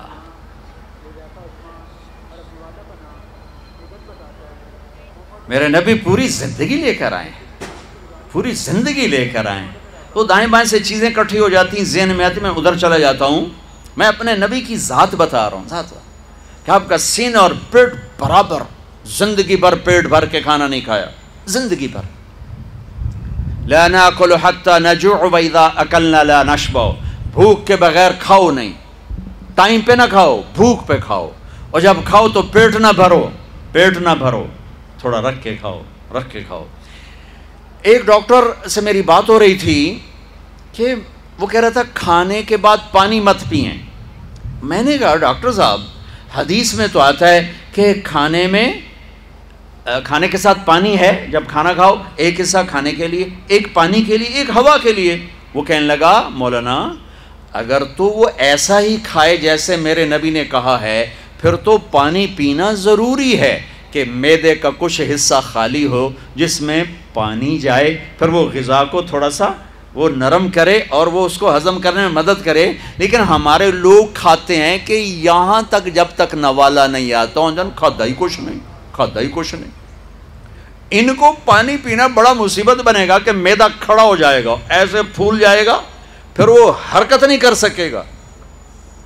جیسے نبی نے بتایا، ویسے کھائیں، پانی پینا چاہیے۔ جیسے یہ کھاتے ہیں، ایسے کھانے میں پانی نہیں چلے گا۔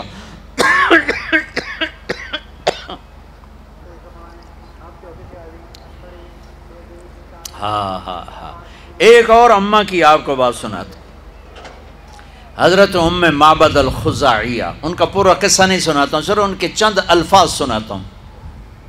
جب انہوں نے اللہ کے نبی کا حلیہ بیان کیا، رأیت رجلا ظاہر الوا، ذرا الفاظ کے ردم میں غور کرنا، ردم، ترجمہ سمجھ میں آئے نا؟ ردم۔ رأیت رجلا ظاہر الوضاء ابلج الوجه، حسن الخلق، لم تعبه ثجلة تجري به سعلة وسيم قسيم في عينيه دعج، في صوته سحل، في لحيته كثافة في عنقه سطع إن تكلم علاه البهاء وإن سكت علاه الوقار. الفاظ کا مزہ ہے؟ کیا ٹھا ٹھا ٹھا ٹھا کر۔ ہوئے ہوئے ہوئے ہوئے۔ وہ کہتی ہے، کہتی ہیں، میں نے ایک جوان دیکھا، مجھے یوں لگا جیسے چودھویں کا چاند کپڑے پہن کے زمین پہ اتر آیا ہو۔ حسن کا پیکر۔ سر سے لے کر پاؤں تک حسن۔ پیٹ بڑھا ہوا نہیں، سر گنجا نہیں۔ وسیم وسیم کسے کہیں؟ وہ خوبصورت جس کو دیکھنے سے جی نہ بھرے۔ وہ صرف ایک ہستی ہیں، وہ محمد مصطفیٰ۔ وسیم تھے، دیکھنے سے دل نہیں بھر رہا تھا۔ قسیم تھے جدھر سے دیکھتی تھی خوبصورت نظر آتے تھے۔ آنکھوں میں کشش موٹیوں آواز میں جادو، داڑھی، گنی، گردن، سرہی دار۔ بولتے تھے تو نور چھا جاتا تھا، خاموش ہوتے تھے تو وقار چھا جاتا تھا۔ لقد جاءکم رسول من انفسکم۔ میرے بھائیو، اللہ کی قسم، میں قیامت تک اپنے نبی کو بیان کرتا رہوں۔ میں نہیں، سات ارب انسان ایمان لے آئیں۔ اور علماء بن جائیں اور خطیب ادیب فصیح بن جائیں اور میرے نبی کی شان بیان کریں، نہیں ہو سکتی۔ اللہ اور اس کے رسول ہماری پہنچ سے باہر ہیں۔ ہمارے الفاظ کی تعبیر سے اوپر اوپر۔ لیکن میں نے صرف وہ بتایا جو حدیث میں ہے، چند اپنے الفاظ شامل کیے۔ جب میرا نبی ذات میں ایسا حسین ہے، خاندان ایسا حسین ہے تو زندگی حسین نہیں ہوگی، زندگی خوبصورت نہیں ہوگی۔ اسلام میرے نبی کی زندگی کا نام ہے۔ اسلام میرے نبی کی زندگی کا نام ہے۔ اسلام میرے نبی کے دن اور رات کا نام ہے۔ اسلام میرے نبی کی خلوت اور جلوت کا نام ہے۔ اسلام میرے نبی کے بچپن، لڑکپن، جوانی اور اللہ کے بارگاہ تک پہنچنے کا نام ہے۔ بھائیو، اس سے حسین تو کوئی چیز نہیں ہے۔ سیکھو۔ ہم نے سیکھا نہیں۔ ماں باپ سکھائیں، یہ سکھاتے نہیں۔ یہ تبلیغ کا کام صدیوں بعد ایک محنت ملی ہے، جو میرے نبی کی زندگی کو سیکھنے کی محنت ہے۔ فرقہ واریت کے زہر سے پاک ہے۔ آپ سے بھی ہاتھ جوڑ کے کہتا ہوں، رمضان آ رہا ہے۔ امت بن کے رمضان گزارنا، فرقہ بن کے نہ گزارنا۔ طبقات میں تقسیم ہو کے نہ گزارنا۔ اس امت کو توڑ کے رکھ دیا ہے فرقہ واریت نے، جلا کے رکھ دیا ہے فرقہ واریت کی آگ نے، ٹکڑے ٹکڑے کر کے رکھ دیا ہے فرقہ واریت نے۔ توڑ کے رکھ دیا ہے۔ ہاتھ جوڑتا ہوں اللہ کے واسطے۔ جو تمہارا عقیدہ ہے، تمہیں مبارک ہو، میں تمہیں سلام کرتا ہوں، میں تمہاری عزت کرتا ہوں، میں تمہیں راستہ دیتا ہوں۔ مجھے بھی تو راستہ دیتا مجھے بھی تو راستہ دیتا میرے اللہ کی جنت بڑی وسیع ہے۔ آج ہر مکتب فکر والا یہ کہہ رہا ہے، صرف ہم مسلمان ہیں، باقی سب جہنمی ہیں، باقی سب دوزخی ہیں۔ ایک نے کہا یہ جہنمی، اس نے کہا یہ جہنمی، اس نے کہا وہ جہنمی، اس نے کہا یہ جہنمی۔ اب ہر ایک کی نظر میں کوئی نہ کوئی کافر جہنمی بن گیا۔ ہوں میں دسو بھئی اللہ جنت دا اچار پاؤنا ہے۔ یا اللہ جنت نو سکنے پاؤنا ہے، اسے جاؤنا کہیں؟ کون جائے گا جنت میں؟ میری نظر میں آپ غلط ہو گئے، آپ کی نظر میں میں غلط ہو گیا، تو جنت اللہ نے کس لیے بنائی؟ کیا میرے نبی کی امت ختم ہو گئی؟ ساری دنیا سے ختم ہو گئی؟ بھائیو، ہاتھ جوڑتا ہوں، اللہ رسول کا واسطہ دے، ان عورتوں کو بھی، آپ کو بھی۔ اللہ کے واسطے امت بن کے چلو۔ امت بن کے چلو۔ رمضان کے فضائل سنو سنو۔ امت کے فضائل سن لو مجھ سے۔ اللہ رسول کا واسطہ دیتا ہوں۔ جس پر تم لڑ رہے ہو، لڑ رہے ہو۔ ایک دوسرے پر کفر تک کے فتوے۔ اور اتنے بے گناہوں کا خون دھرتی پی گئی۔ کتنے معصوم بچوں کی آہوں نے عرش کو ہلا دیا۔ کتنی جوان بیٹیوں کی زندگی تاریک ہو گئی۔ کتنی بوڑھی ماؤں کے آسرے چھن گئے۔ کیا میرے نبی اس لیے آئے تھے؟ میرے نبی نے تو عبداللہ بن ابئی جیسے کو سینے سے لگا کے رکھا۔ میرے نبی پانی پی رہے تھے۔ آپ کے ہاتھ میں پانی کا گلاس تھا۔ آپ آج پی رہے تھے۔ عبداللہ بن ابئی کے بیٹے حضرت عبداللہ پکے صحابی۔ کہنے کہ یا رسول اللہ، یہ تھوڑا سا پانی تو بچا دے۔ تھوڑا سا پانی بچا دے۔ آپ نے کہا، کیا کرو گے؟ کہ اپنے باپ کو پلاتا ہوں، شاید اس کے اندر ایمان آ جائے۔ کل ہی جاؤ وہ لے گیا کہا ابا یہ پانی پی لو وہ کہنے لگا کیا ہے کہا اللہ کے نبی کا بچا ہوا ہے پی لے شاید تیرے اندر ایمان آ جائے اس نے کہا جاؤ کوئی پیشاب لے کے آؤ وہ پیوں گا یہ نہیں پیوں گا انہوں نے واپس آ کر کہا یا رسول اللہ یہ کم بخت منافق ہے بیٹا کہہ رہا ہے مجھے اجازت ہے میں اس کی گردن اڑا دوں آپ نے کہا نہیں عبداللہ تیرا باپ ہے عزت کر۔ میں نہیں چاہتا لوگ کہیں محمد اپنے ساتھیوں کو قتل کرواتا ہے، صلی اللہ علیہ وسلم۔ اور تم تو امت ہو، اللہ کا واسطہ دیتا ہوں، اس کے رسول کا واسطہ دیتا ہوں۔ امت بن کے رہو۔ امت بن کے رہو۔ امت بن کے رہو۔ فرقوں میں نہ بٹھو۔ رہو، اپنے مذہب، اپنے مسلک، مذہب ایک ہے، اسلام۔ آگے مسلک مختلف ہیں۔ مسلک مختلف ہیں۔ ایک دوسرے کو گنجائش تو اللہ کے واسطے گنجائش تو اللہ کے واسطے گنجائش تو اللہ کے واسطے گنجائش۔ تو میں علماء کے سامنے ہاتھ جوڑتا ہوں۔ امت کو امت بناؤ، امت کو فرقوں میں نہ بانٹو۔ ایسی باتیں مت کرو جس سے یہ نفرت کی آگ میں سلگنے لگیں۔ اور ایک دوسرے کے گریبانوں تک ان کے ہاتھ چلے جائیں۔ اور مسجدوں پہ لڑائیاں، مسجدوں میں لڑائیاں، مسجدوں پہ قبضے۔ سفینہ ڈوب رہا ہے۔ اور کشتی کے مسافر آپس میں لڑے جا رہے ہیں، لڑے جا رہے ہیں۔ او میرے بھائی ہو کشتی کنارے لگا لو، پھر لڑنے کا شوق پورا کر لینا۔ یہ تو گرداب میں پھنسی امت ہے، اسے کسی کنارے تو لگنے دو۔ پھر تمہیں لڑنے کا شوق ہے تو لڑ لینا۔ نہ کرو، ایسا نہ کرو، ایسا نہ کرو۔ میرے نبی ایک خوبصورت زندگی لائے ہیں۔ کوئی رخ کس سے نے لیا؟ کوئی رخ کس سے نے لیا؟ کوئی پہلو کس سے نے لیا؟ کوئی پہلو کس سے نے لیا؟ لیکن اسی پر ہی کیا سے کیا ہو گیا ہے؟ تو میں یہ کہہ رہا تھا، بیچ میں بات آ گئی۔ ضروری ہے، میں ہر بیان میں کہتا ہوں، ہر بیان میں کہتا ہوں۔ آپ سے بھی کہتا ہوں۔ علماء کی قدر کرو، چاہے وہ فرقہ واریت کو بولیں، ان کی قدر کرو، ان کے سینے میں علم ہے، ان کی عزت کرو۔ ہاں اکیلے میں ان کے پاؤں پڑھ کے کہو، حضرت، ہمیں کوئی اللہ رسول کی بات بتائیں، کوئی آپس میں جڑنے کی بات بتائیں، کوئی آپس میں جڑ کے چلنے کی بات بتائیں۔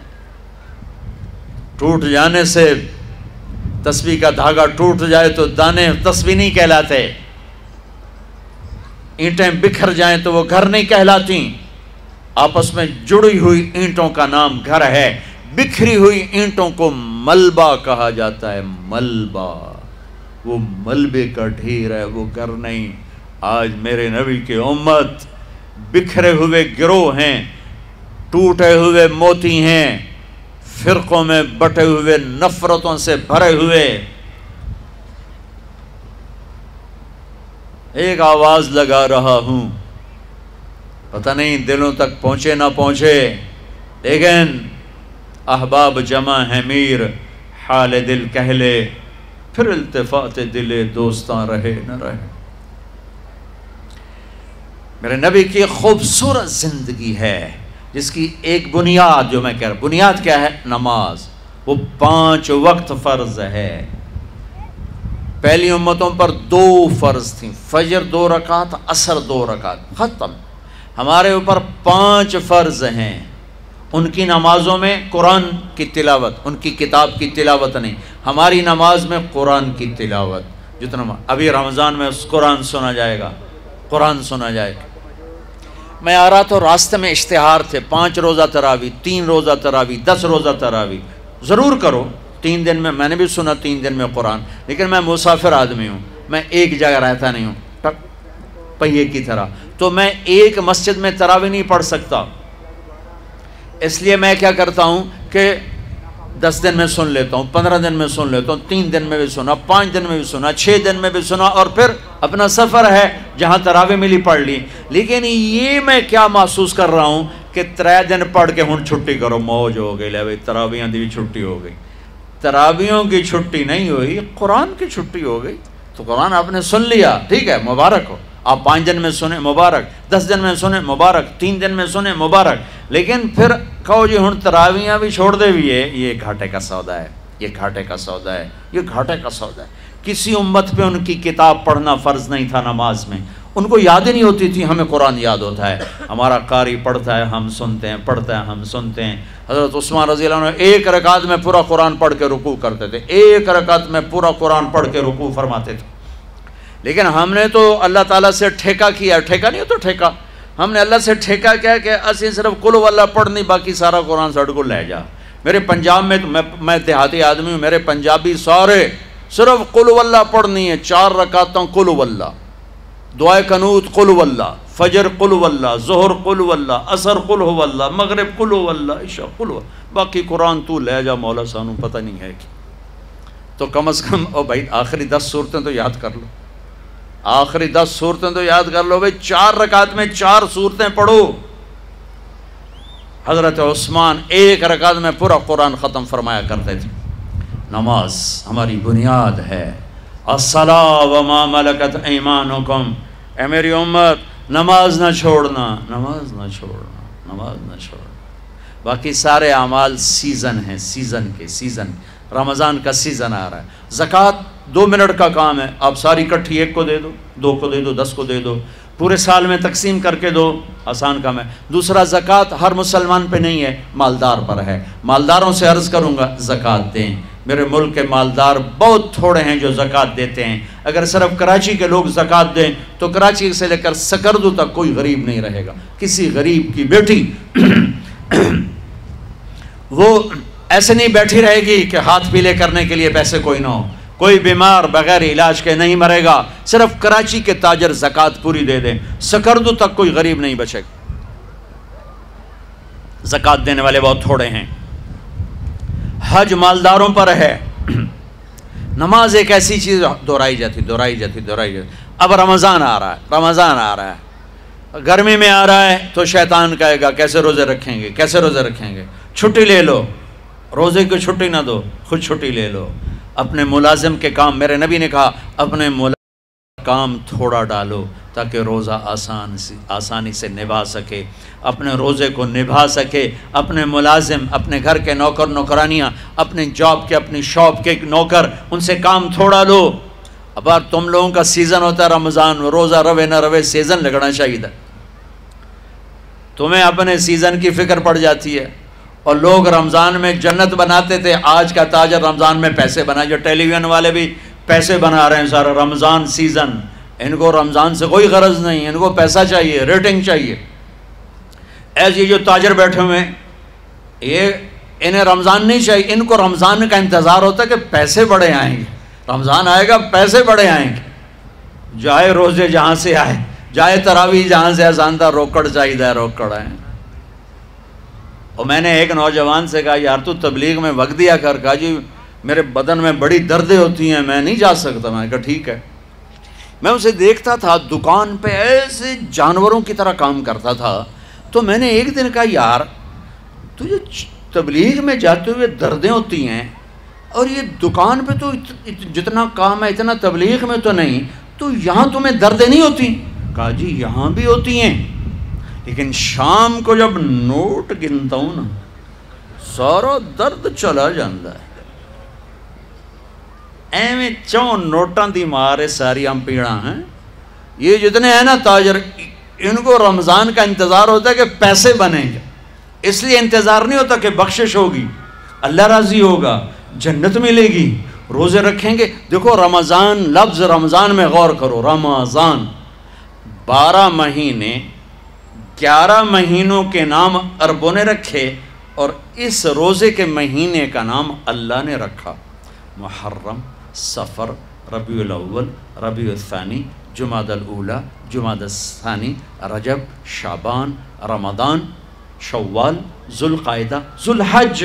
یہ گیارہ میں سے جو بارہواں مہینہ ہے، رمضان رمضان۔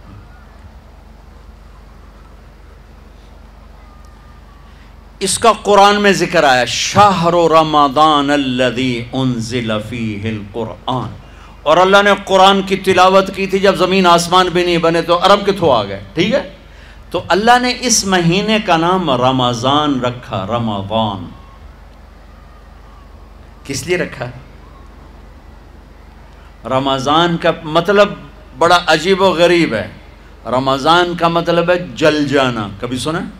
جل جانا۔ رمض یرمض صلاة الاوابین حین ترمض الفصال، مسلم شریف کی روایت۔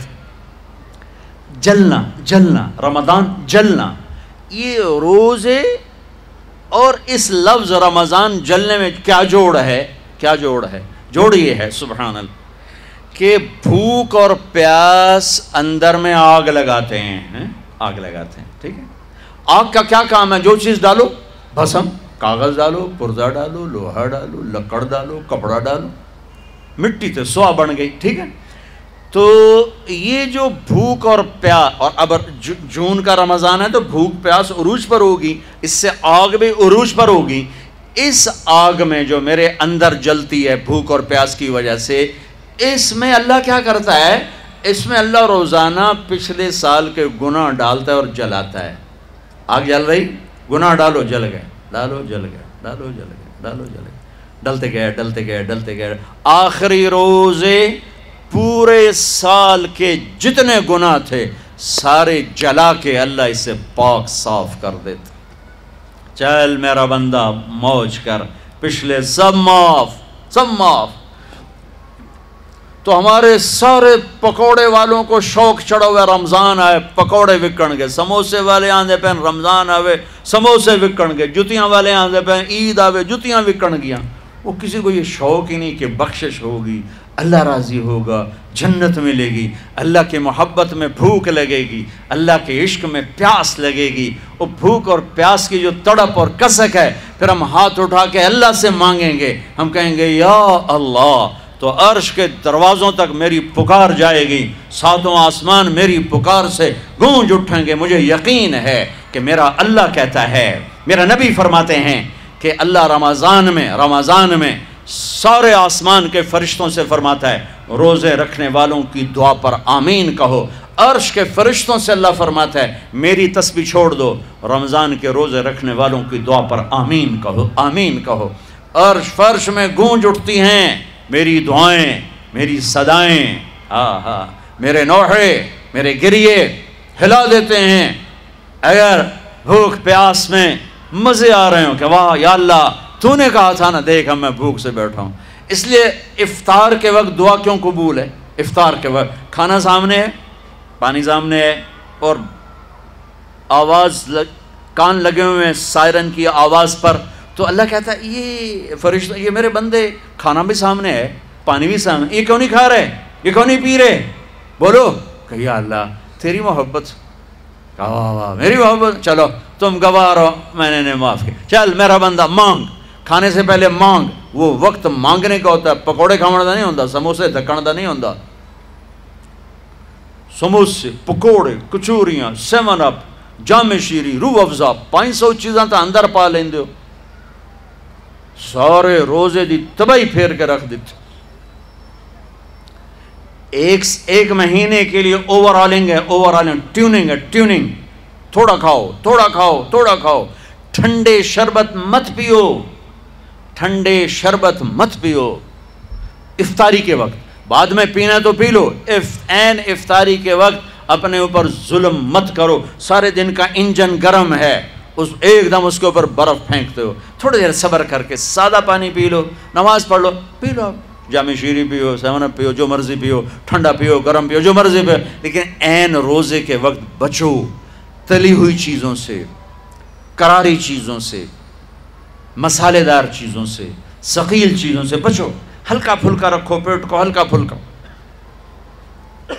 تاکہ روزے کا مقصد حاصل ہو کہ جسم پاک ہو غلاستوں سے، گندگیوں سے پاک ہو، صاف ہو۔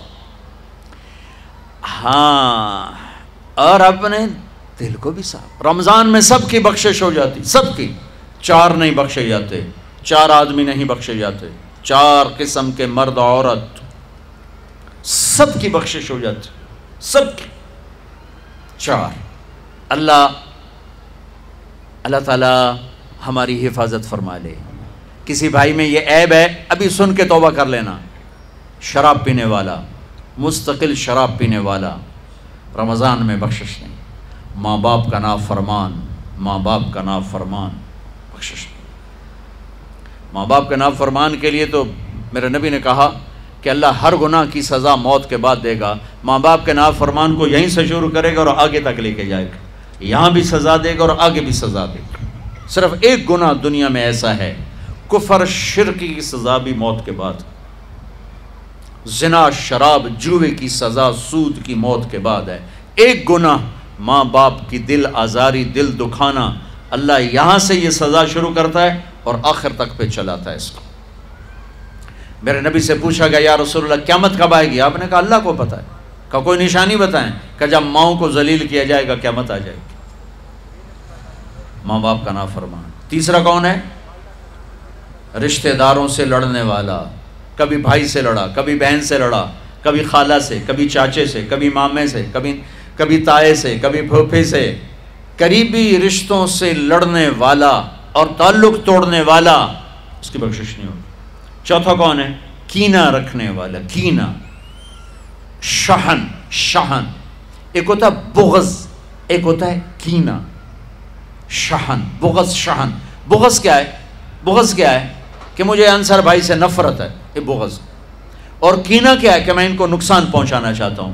نفرت کے ساتھ ان کے ٹانگیں کھینچنا چاہتا ہوں، اس کو کینا کہتے ہیں۔ تو یہ چار برائیاں معاف نہیں ہیں۔ ہاں کوئی توبہ کرے تو سب معاف ہوگا، سب معاف ہوگا، سب معاف ہوگا۔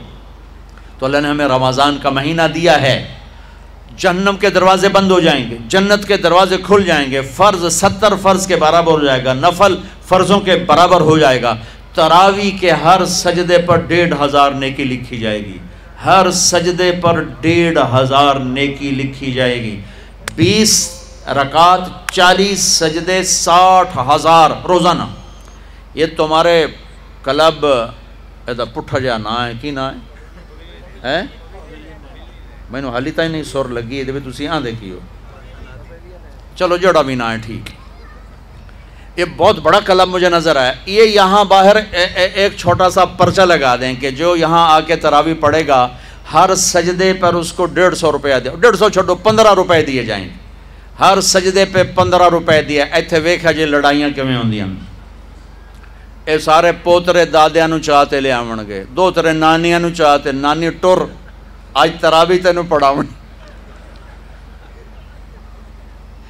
دادے نانے نو پوچھدا کوئی نہیں انہاں دی عید ہو جاونی تسی ایسے اعلان کر کے لکھ دیو بھئی جڑا ایتھے آوے گا انہوں اسی فی سجدہ 15 روپے دیواں گے ایتھے پھر چھوٹے ویکھے جے کیویں چل دے او میرا میرا میرے نبی او میرے نبی او میرے محبوب او میرے پیارے اور میرے اللہ کے پیارے دلارے راج دلارے وہ کہہ رہے ہیں او میری امت ایک گھنٹہ لگا لو ایک گھنٹہ چالیس سجدے، ہر سجدے پہ ڈیڑھ ہزار نیکی، ساٹھ ہزار نیکیاں، اور ہر سجدے پر جنت میں ایک سرخ یاقوت کا محل، اور ہر سجدے پر جنت میں ایک درخت جس کے نیچے سو سال گھوڑا دوڑ سکتا ہے۔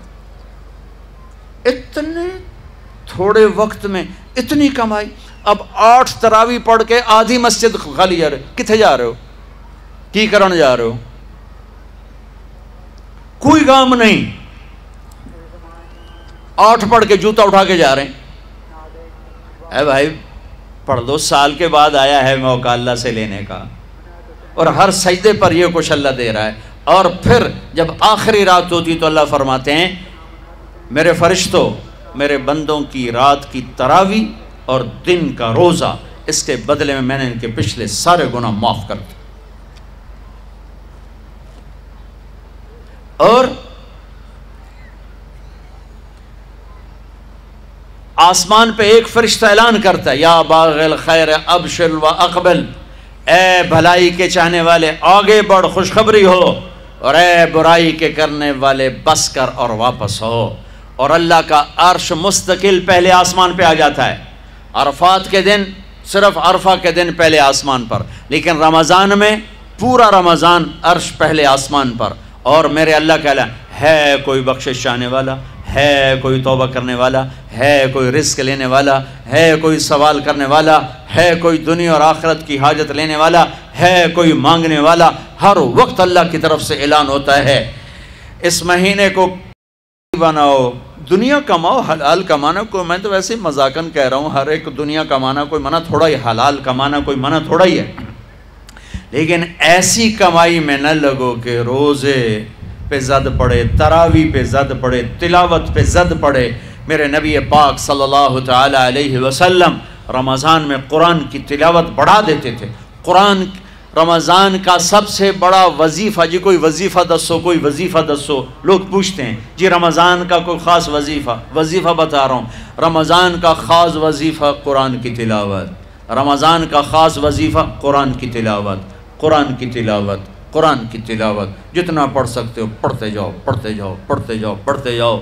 میرا ایک ساتھی ہے مولوی ثناء اللہ، وہ ایک دن میں پورا قرآن ختم کرتا ہے۔ ایک دن میں پورا قرآن، ایک دن میں پورا قرآن، پورے رمضان میں تیس قرآن ختم کر دیتے سویس کے کہ بیمار ہو جائے تو کوئی بیمار ہو جائے تو دس پارے دس پارے، ورنہ پورا قرآن، رمضان، قرآن، پورا قرآن۔ تو چلو ہم پورا قرآن نہیں پڑھتے، کچھ تو پڑھو۔ سارے سال نہیں پڑھا، کچھ تو پڑھو۔ رمضان کا وظیفہ قرآن کی تلاوت۔ رمضان کی تسبیح قرآن کی تلاوت۔ رمضان کی خدمت روز افطار کرواؤ، سحری کھلاؤ، افطاری کراؤ۔ غریبوں کو مدد کرو، زکوٰۃ دو۔ اپنے مزدوروں سے کام تھوڑا لو، گھر کے نوکروں سے کام تھوڑا لو۔ اور رمضان کی سب سے بڑی بات، آپس میں بغض سے دل صاف کرو۔ لڑے ہوئے ہو، رمضان آنے سے پہلے پہلے جیسے لوگ حج پر جانے سے پہلے نہیں، فون کرتے ہیں، صلح کرتے ہیں۔ اتنا ہی ضروری ہے۔ رمضان سے پہلے پہلے میں دل صاف کر لوں، میں معاف کر دوں، میں معافی مانگ لوں۔ زیادتی کی ہے تو معافی مانگ لوں۔ کوئی معافی مانگنے آیا تو معاف کر دوں۔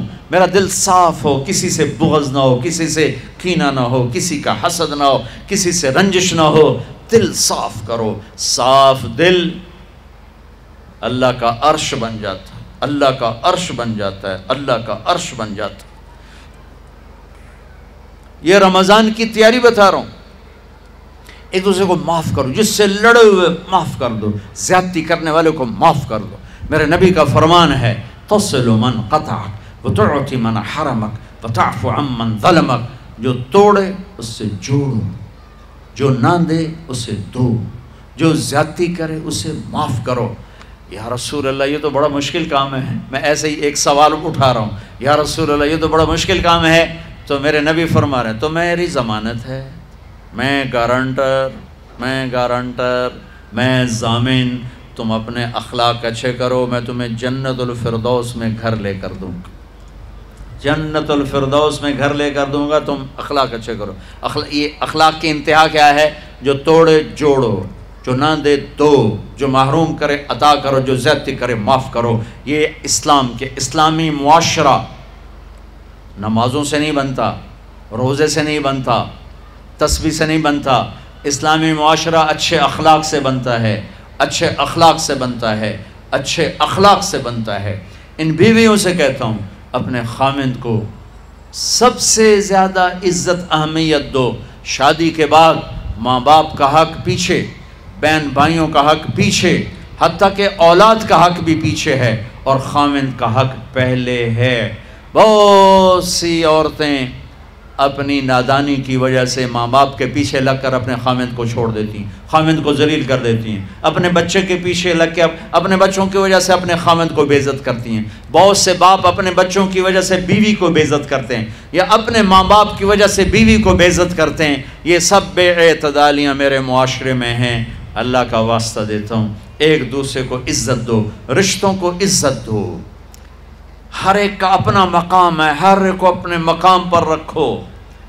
ماں باپ کی وجہ سے بیوی کو بے عزت نہ کرو، بیوی کی وجہ سے ماں باپ کو بے عزت نہ کرو۔ بیوی اپنے ماں باپ کی وجہ سے خامد کو بے عزت نہ کرے۔ یہ وہ رشتہ ہے جس میں اولاد بھی نہیں داخل ہو سکتی۔ اولاد کو بھی پیچھے کیا گیا ہے، خامد اور بیوی بی کے رشتے میں۔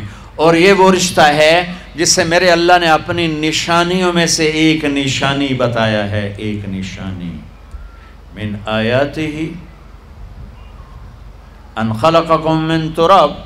میں ٹپس پڑھتا ہوں آیات کے، ساری آیت نے۔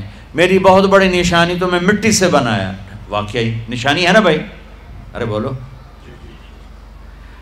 من آیات ہی خلق السماوات والارض. میں نے ایک آیت چھوڑ دی، بعد میں پڑھوں گا. میری بہت بڑی نشانی زمین، آسمان کا بننا. واقعی بہت بڑی نشانی.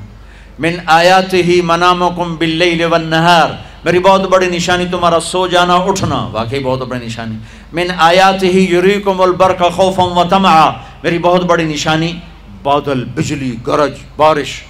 واقعی من آیات ہی ان تقوم السماء والارض بیامرے میری بہت بڑی نشانی زمین آسمان کھڑے ہوئے ہیں. من آیات ان یرسل الریاح مبشرات. میری بہت بڑی نشانی کہ گرم ہوائیں ایک دم ٹھنڈی ہو کر بادل لے کر آتی اب میں وہ آیت پڑھتا ہوں جو میں نے چھوڑ دی تھی.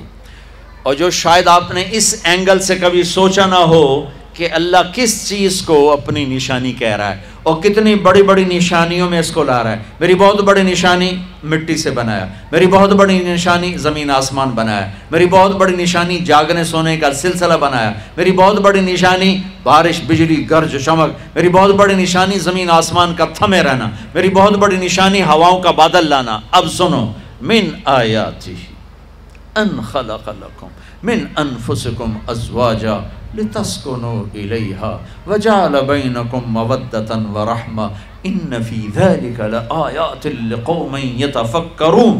اللہ اکبر۔ صرف یہاں یتفکرون کا لفظ اللہ لے کر آئیں کہ غور کرو گے تو پتہ چلے گا نشانی کیا۔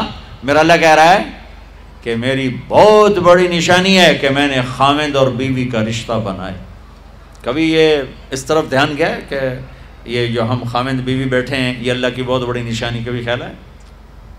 اللہ اکبر۔ اللہ نے ماں باپ کا رشتہ بنایا، اسے نشانی نہیں کہا۔ اللہ تعالیٰ نے اولاد کا رشتہ بنایا، اسے نشانی نہیں کہا۔ اللہ نے دادے پوتے بھی جتلائے اسے نشانی نہیں کہا۔ اللہ نے پھوپھی خالہ بھی بتائیں، دادیاں نانیاں بھی بتائیں۔ اسے اللہ تعالیٰ نے نشانی نہیں فرمایا۔ نشانی کسے فرمایا؟ خامد اور بیوی، یہ میں نے رشتہ بنایا۔ یہ میری کتنی بڑی نشانی ہے۔ اس ایک رشتے کو باقی رکھنے کے لیے سینکڑوں آیات ہیں، سینکڑوں آیات۔ اور طلاق سے نفرت کا اظہار۔ میرے نبی نے کہا، علی طلاق سے بچنا، جب طلاق دی جاتی، اللہ کا عرش کہاں اٹھتا ہے۔ ناجائز طلاق، بے جا۔ ضرورت کی وجہ سے طلاق لی بھی جا سکتی ہے، دی بھی جا سکتی۔ یہ میں ایک اضافہ کروں گا۔ بہت سی بچیاں نہیں گزارا ہو رہا۔ خامد بدتمیز ہے یا سسرال ظالم ہے۔ وہ کہتی ہیں، ماں سے میرا گزارا نہیں ہو رہا۔ میری جان چھڑا دو۔ نہیں بیٹی، گزارا کرنا ہوگا۔ صبر کرنا ہوگا۔ گزارا کرنا ہوگا۔ یہیں رہنا ہوگا۔ یہ ماں باپ کا ظلم ہے۔ یہ ماں باپ کا اپنی اولاد پر ظلم ہے۔ ہمارا تو زمیندارہ ماحول ہے، پنجاب کا میں نے اپنے اپنے ہی خاندان کے بتاتا ہوں، بچیوں پہ ظلم ہوتے دیکھے، پھر ان کی فریادیں بھی سنی، پھر ان کے ماں باپ کا ظلم دیکھا۔ اتنا ہی رہنا ہے اتنا ہی گزارا کرنا ہے۔ بس اسا ایک باری تیرا کر دیتا ہے۔ ہوں اسا کوئی نہیں کرنا پچھا مڑ کے نہ پہ میں جی میں کرنا ہی کر، ساڈا کوئی ذمہ نہیں۔ ماں باپ کہتے ہیں، ماں باپ کہتے ہیں۔ اور وہ ماہی بے آب مچھلی پانی کے بغیر تڑپتی ہے۔ اس طرح اس کا دن اور رات ہے۔ زندہ کی کھال کھچ رہی ہے۔ اس طرح اس کا دن اور رات ہے۔ اور ماں باپ کا جبر، گزارا کرنا ہے، گزارا کرنا تین بعد کون تیرا تیرا رشتہ کتوں آئے گا؟ تیری شادی کتوں کریں گے؟ ابھی تو اس کو ذبح ہونے سے بچا لو۔ کل تو اللہ نے ہمیں اس کا مکلف ہی نہیں کیا کہ کل کیا ہوگا؟ کل کو آنے تو دو۔ پتہ نہیں کل کا دن ہے بھی نہیں کہ ہمارے مقدر میں یا نہیں۔ ہم کل کے لیے اپنی بچیوں کو ذبح کر دیتے۔ میں نے ان کے ان کو تڑپتے دیکھا۔ میں صرف اپنی فیملی کی بات بات اوروں کی فیملیوں کی بات بات جہاں جہاں تعلقات۔ کہیں رشتہ قریب کا ہے، لڑکی بدتمیز ہے، بچہ شریف ہے، وہ کہتا ابا جی میں طلاق دینا چاہتا ہوں۔ میرا اس سے گزارا نہیں ہے۔ زبان شدید ہے۔ آئے میرے بھائیوں گھروں کی آبادی اللہ کی قسم مالدار ہو یا غریب ہو صرف اچھے اخلاق سے ہوتی ہے، اور گھروں کی بربادی مالدار ہو یا غریب ہو برے اخلاق سے ہوتی برے اخلاق سے ہوتی دو واقع اوپر نیچے ہوئے۔ ایک خاتون ملی، مجھے تعارف کرایا گا کہ ایک خاتون آ رہی ہیں، ان کے خامند کھربوں پتی ہیں، کھربوں پتی ٹھیک ہے جی آؤ اس خاتون نے آتے ہی رونا شروع کر دیا، مولانا، لوگ مجھے خوش قسمت سمجھتے ہیں کہ میں بہت بڑے مالدار کی بیگم ہوں۔ میرا دل زخمی ہے، میرے خامند کا سلوک اچھا نہیں، میں دولت کو آگ لگاؤں۔ یہ ہیرے کے سیٹ کو میں کیا کروں جب اس کا سلوک ہی میرے ساتھ اچھا نہیں۔ چند دن کے بعد ایک نوجوان ملا، مولانا، میں اپنی زندگی سے تنگ ہوں۔ میری بیوی انتہائی بدتمیز ہے، انتہائی زبان دراز ہے۔ میں اپنی زندگی سے تنگ آ چکا ہوں۔ تین بچے ہو چکے ہیں، طلاق دے نہیں سکتا۔ میں کیا کروں؟ یہ روزمرہ کے واقعات ہیں۔ تو ضرورت کے لیے طلاق دی جا سکتی ہے، لی جا سکتی ہے۔ نہ عیب ہے، نہ تانا ہے۔ نہ ذلت ہے، نہ کوئی داغ ہے۔ لیکن ابھی ابھی ابھی ابھی ابھی فیصلہ باد سے۔ ایک بچی ملی، اس کی بچی گود میں۔ طلاق کیوں ہو گئی؟ کہا، سسرال نے کہا، بچی کیوں پیدا ہوئی ہے؟ گھر واپس جا۔ طلاق دے دی۔ بچی پیدا ہونے پہ طلاق دے دی۔ پچھلے ہفتے ملا ہوں، پچھلے ہفتے۔ کیا قصور ہے جی بچی پیدا ہوئی، طلاق دے دی۔ اور یہ تین دن پہلے اسلام آباد میں خاتون ملی۔ کہ سسرال نے گھر سے نکال دیا کیوں تین بچیاں گھر سے نکال دی۔ تین بچیاں پیدا ہونے پر گھر سے نکال دیا۔ یہ بھی اسی دیس کی کہانی ہے۔ یہ بھی اسی دیس کی دکھ بھری داستان ہے۔ ظلم صرف وہ نہیں، جو تم، جو بھتا کی پرچیاں آ رہی ہیں اور جو دہشت گردی ہو رہی ہے۔ یہ گھر، جیسے وہ بہت بڑا ظلم ہے، ایسے یہ بھی بہت بڑا ظلم ہے کہ کہیں بچیاں ذبح ہو رہی ہیں۔ کہیں بچے ذبح ہو رہے ہیں۔ پھر ایک اور ظلم اس کے ساتھ ہے۔ خاندان سے باہر نہیں کرنی، خاندان میں کریں گے۔ ہم راجپوت ہیں، میں اپنی بات کر، ہم راجپوت ہیں، ہم اس سے باہر نہیں کرتے۔ ہم شیخ ہیں، ہم باہر نہیں کرتے۔ ہم مہمن ہیں، ہم باہر نہیں کرتے۔ ہم پٹھان ہیں، ہم باہر نہیں کرتے۔ ہم ارائیں، ہم باہر نہیں کرتے۔ اس بت کو توڑو، اس سے بڑی بچیاں برباد ہوئی ہیں۔ بڑی زندگیاں برباد ہوئی ہیں۔ میرے نبی نے فرمایا، دین دیکھو اخلاق۔ اخلاق دین، جہاں دیکھو رشتہ کر دو۔ اگر بچہ اپنی پسند کا اظہار کر دے تو اسے نافرمانی نہ سمجھو کہ تو اپنی پسند کا اظہار کیوں کرتا ہے۔ اگر بچی اپنی پسند کا کہہ دے کہ میری یہاں شادی کریں تو اسے بے ادب، اسے بے حیا نہ سمجھو۔ اس نے حیا کے ساتھ شریعت کے مطابق ایک چیز کا مطالبہ کیا ہے۔ اللہ کا واسطہ دیتا ہوں ماں باپ کو۔ اپنے بچے بچیوں کی شادی میں ان کی رائے لو، ان کی رائے لو، ان کی رائے لو۔ ایک خاتون نے مجھے بتایا کہ میرا رشتہ آیا ہو میرے ماں باپ دوسرے کمرے میں بیٹھ کے مشورے کر رہے کہ کرنا ہے کہ نہیں کرنا۔ مجھے ہی نہیں رہے کہ تیرا رشتہ آیا ہے۔ اور بچیوں سے پوچھنا عیب سمجھ مجھے تمہارے کراچی کے نہیں پتا، میرے پنجاب کی تہذیب یہی ہے۔ بچیوں سے پوچھنا عیب بس کر دیتا تیرا، ایتھا ہی کرنا ہے۔ ایتھا ہی کرنا ہے، اور کوئی گل دوئی ہے ہی کوئی نہیں۔ شرابی سے بات۔ میرے اپنے عزیز دوستوں کے بہت بڑی فہم بہت بڑا ذمہ دار گھرانہ، ایک بچی نے فون کہا مولانا صاحب۔ صرف مجھے فون آیا کہ تیرے آسان، تیری منگنی کر چھڑی ہے بس، فلانی تاریخ نو تیرا نکاح ہے۔ ٹھیک ہے۔ میرے ماں باپ ہیں، کر دیا میں حاضر ہوں حاضر ہوں۔ لیکن مولانا، اتنا تو میرا حق تھا کہ شرابی سے تو نہ کرتے ایک شرابی سے میرا نکاح کرتے میرے خاندان میں اور لڑکے بھی تھے۔ ایک شراب، ان کو پتہ یہ شراب پیتا ہے۔ اور میری زندگی رل گئی اس کے پیچھے، شرابی کے پیچھے۔ ماں باپ کو ہاتھ جوڑتا ہوں۔ نکاح بچے بچی کا حق ہے، ان کی رائے کا احترام دو۔ مسلط مت کرو۔ یہیں کریں گے اور کہیں نہیں کریں گے۔ اولاد کو نافرمان کر دیا، زنا کے راستوں پر چلا دیا۔ بچوں سے کہتا ہوں، ہاتھ جوڑتا ہوں، اللہ کا واسطہ، کورٹ میرج نہ کرو، لو میرج نہ کرو۔ ماں باپ کی دعا لو۔ ماں باپ کی دعا لو، ماں باپ کی دعا لو جو کورٹ میرج لو میرج تمہیں تباہ کر دے گی، ہلاک کر دے گی۔ یہ محبت کا نشہ چند دنوں میں اتر جاتا ہے۔ عاشق معشوق اور ہوتے ہیں خامن بیوی اور ہوتے ہیں، حقائق اور ہوتے ہیں، تصور، تخیل اور ہوتے ہیں۔ میرے رب نے ایک اعتدال کا دین پیش کیا ہے۔ ایک اعتدال کا دین پیش کیا ہے۔ شادی بچے کا حق ہے، بچی کا حق۔ ماں باپ پیش کر، بیٹا یہ پیغام ہے، کر دیں۔ بیٹی یہ پیغام ہے، کر دیں۔ بیٹا پسند کا اظہار کرے، اسے نافرمان نہ سمجھو۔ بیٹی اپنی پسند کا اظہار کر دے، اسے نافرمان نہ سمجھو۔ صحابہ کی سیرت اٹھا کے پڑھو، صحابیات کی سیرت اٹھا کے پڑھو۔ ایک خاتون یا رسول اللہ، میں آپ سے شادی کرنا چاہتی ہوں۔ یا رسول اللہ، میں آپ سے شادی کرنا چاہتی ہوں۔ تو صحابیہ، کروڑوں رابعہ بصری قربان کی جائیں صحابیہ پر۔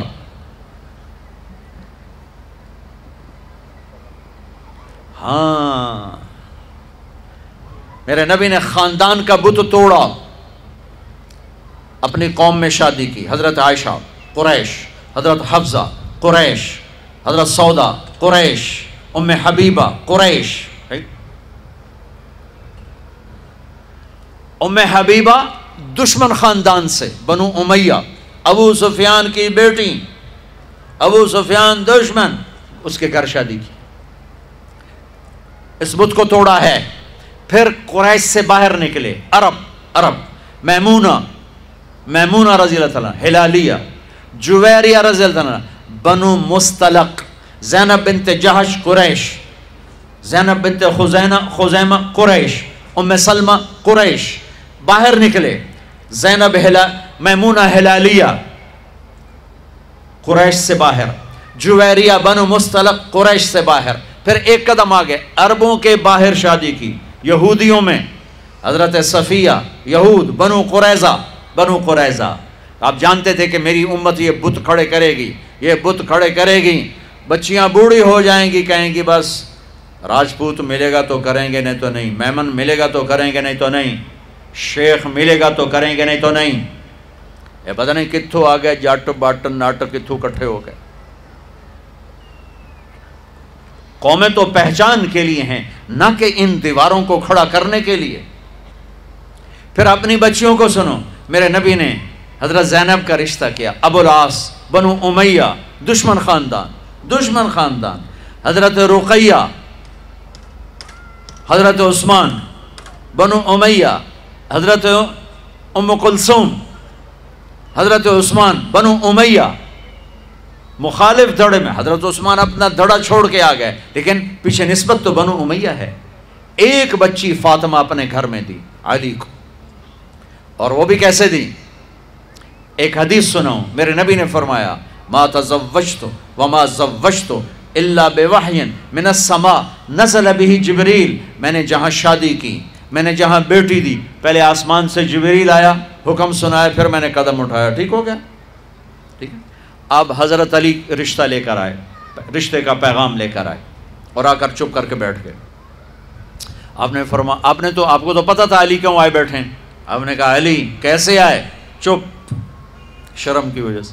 اکیس سال عمر تھی۔ حضرت فاطمہ کی ساڑھے پندرہ سال۔ پھر آپ نے خود کہا، علی فاطمہ کے رشتے کے لیے آئے ہو؟ جی۔ تو آپ نے کہا، انشاءاللہ انشاءاللہ۔ اور یہ کہہ کر اٹھ گئے۔ تو حضرت علی بڑے پریشان سے اٹھے اور باہر آ گئے۔ باہر صحابہ انتظار کر رہے تھے کہ کیا بنتا ہے۔ صحابہ نے پوچھا، کیا ہوا؟ کا انکار؟ کہیں؟ انکار؟ وہ کیسے؟ کہ کچھ بھی نہیں بولے؟ تو عبد الرحمن بن عوف کہنے گے کچھ تو بولے ہوں گے کہا انشاءاللہ کہا تھا۔ کہا تو ہو گیا۔ کہا وہ کیسے؟ کہا نبی کا انشاءاللہ ہاں ہوتا ہے۔ اچھا اب یہ انشاءاللہ کیوں کہا؟ یہ کیوں نہیں کہا کہ ہاں ہو گیا؟ آسمان سے وہی آ چکی ہے۔ جبریل آ چکا ہے کہ فاطمہ علی کے لیے ہے، یہ جوڑا طے ہو چکا ہے۔ پھر ہاں کیوں نہیں کی؟ ارے، آپ کو سمجھانے، بتانے کے لیے۔ سنو میں کیا فریاد کر رہا ہوں۔ صرف عبادات کا نام اسلام نہیں ہے، یہ سب اسلام بیان کر رہا ہوں۔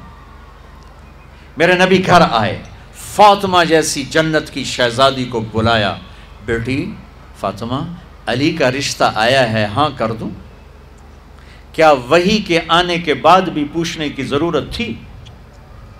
جب اللہ کہہ چکے ہیں کہ فاطمہ علی کے لیے ہیں اور آسمان سے جبریل آ چکے ہیں کہ یہ رشتہ آسمانوں پہ طے ہو چکا ہے، پھر یہ کیوں کہا فاطمہ بیٹی؟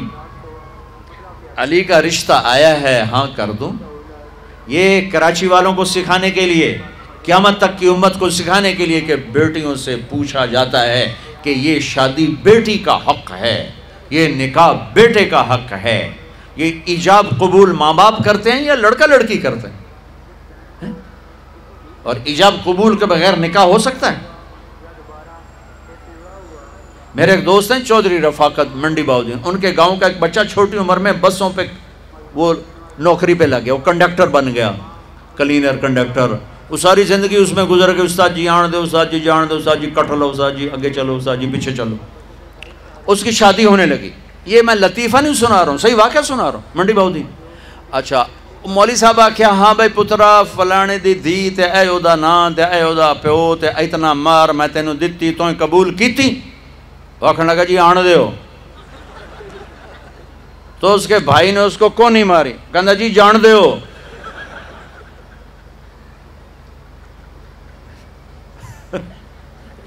وہ سمجھا شاید یہ بھی آن دیو تو جان دیو۔ کٹ لو کر لو ایجاب قبول کتنے ضروری لفظ ہیں کہ جب تک لڑکی لڑکا یہ نہیں کہیں گے نکاح نہیں ہوگا، یہ ماں باپ کا حق ہے، یہ بچوں کا حق ہے۔ تو آج ماں باپ کیوں ظلم کرتے ہیں کہ زبردستی اپنی مرضی کی شادی مسلط کرتے ہیں؟ اللہ کرے ہماری اولاد ہماری مرضی پہ شادی کرے۔ بچوں سے کہتا ہوں، ماں باپ کی مرضی کی شادی کرو، ماں باپ کی مرضی کی شادی کرو، ماں باپ کی مرضی کی شادی کرو، میں تمہیں بغاوت کی راہیں نہیں دکھا رہا۔ لیکن جو ماں باپ جبر کر رہے ہیں، میں اس کے ہاتھ سامنے ہاتھ جوڑ رہا ہوں، اس کے سامنے ہاتھ جوڑ رہا ہوں کہ واقعات سن سن کے، دیکھ دیکھ کے میرا کلیجہ پکا ہوا ہے۔ میں اس لیے بول رہا ہوں، یہ وہ مضامین ہیں جو نئی ممبر سے بیان کیے جاتے میں بول رہا ہوں کہ یہ میرے معاشرے کی دکھتی ہوئی رگیں ہیں۔ جہاں نیکی دیکھو وہاں رشتہ دے دو۔ چاہے خاندان ہے ہاں خاندان میں کو ترجیح دو۔ خاندان کو ترجیح دو۔ کوئی شک نہیں، کوئی شک نہیں۔ لیکن اگر خاندان میں جوڑ نہیں باہر تلاش کرو۔ ہمارے جی ہم بچی والے، ہم کیسے جائیں؟ بچی والے نہیں جا سکتے۔ یہ تو ہندوستان کی ہندی ثقافت ہے۔ میری بیٹی جوان ہے، میرے ذمے میں اپنی بیٹی کا رشتہ تلاش کروں۔ میں جا کر کہوں، بھائی میری بچی جوان ہے، اگر آپ کو مناسب لگے تو آپ ہمارا پیغام قبول کر لیں۔ لیکن ہم اپنی بچیوں کو بوڑھا کر دیتے ہیں، کوئی رشتہ آئے تو کریں، کوئی رشتہ آئے تو کریں۔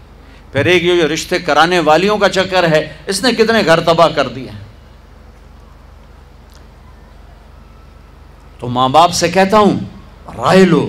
اولاد سے کہتا ہوں، ماں باپ کے خلاف نہ جاؤ نہ جاؤ نہ جاؤ نہ جاؤ۔ برکت کیا دین سارا ہاتھ سے نکل جائے گا۔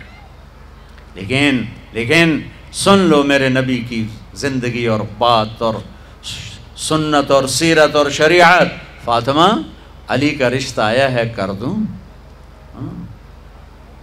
فاطمہ جیسی بچی انکار کر سکتی تھی اور علی جیسا رشتہ انکار کر سکتی تھی۔ وہاں ہاں کے سوا کچھ نہیں تھا۔ یا رسول اللہ، جیسے آپ مناسب سمجھیں۔ یہ انشاءاللہ اس لیے کہا تھا کہ پہلے فاطمہ سے پوچھوں، پھر آپ اسی قدموں پر واپس آئے علی جی مجمع کٹھا کرو۔ مجمع کٹھا ہو گیا۔ آپ ممبر پر کھڑے ہوئے، علی کو سامنے بٹھایا۔ کہا، لوگو، جبریل، اللہ کا پیغام لائیں کہ میں اپنی بیٹی فاطمہ علی کے نکاح میں دے دوں۔ اور علی، خطبہ پڑھنے کے بعد، میں نے چار سو درم پر اپنی بچی کو تیرے فاطمہ بنت محمد کو تیرے نکاح میں دیا تو نے قبول کیا؟ ویسے سامنے بیٹھے تھے کہا جی قبول کیا اور سجدے میں سر رکھ دیا۔ پھر جب رخصتی ہوئی تو آپ نے بلوایا بلوایا۔ ایک اور بات چلی، بچی کو خود گھر چھوڑ کے آؤ۔ سسرا، یہ کیسے احمق لوگ یہ کہاں کی باتیں کرتے ہیں؟ فطرت کے خلاف۔ دین تو دین ہے، فطرت کے خلاف۔ کہ بچی کو خامد کو سسرال کے گھر چھوڑ کے آ جاؤ۔ اس کے حقدار تو میرے نبی کی بیٹیاں تھیں۔ آپ نے علی کو بلایا کہ آؤ، اپنی امانت لے کے جاؤ۔ حضرت علی خود آئے۔ ساتھ ان کے بھائی عقیل آئے۔ ساتھوں میں ایمن آئیں۔ سلمان فارسی آئے۔ اور آپ نے علی کو اندر بلایا۔ فاطمہ کو دلہن بنایا گیا۔ عائشہ، ام سلمہ، حفظہ رضی اللہ عنہ نے دلہن بنایا۔ اور آپ نے فاطمہ کا ہاتھ پکڑ کے علی کے ہاتھ میں دیا کہ علی، نبی کی بیٹی مبارک ہو۔ پہ فرمایا، میری بیٹی فاطمہ، میرے خاندان میں جو مجھے سب سے زیادہ محبوب تھا، میں نے تیرا ہاتھ اس کے ہاتھ میں دیا ہے۔ پوچھا، پوچھو، اللہ کے واسطے پوچھو، یہ رشتہ بڑا اہم ہے۔ میں نے آیات ہی، یہ میری نشانیوں میں سے میں نے خامد اور بیوی کا رشتہ بنایا۔ اللہ اس کو اپنی نشانیاں بتا رہا ہے۔ اس پر سینکڑوں آیات ہیں کہ یہ رشتہ باقی رہے، ٹوٹے نہیں ٹوٹے نہیں ٹوٹے نہیں۔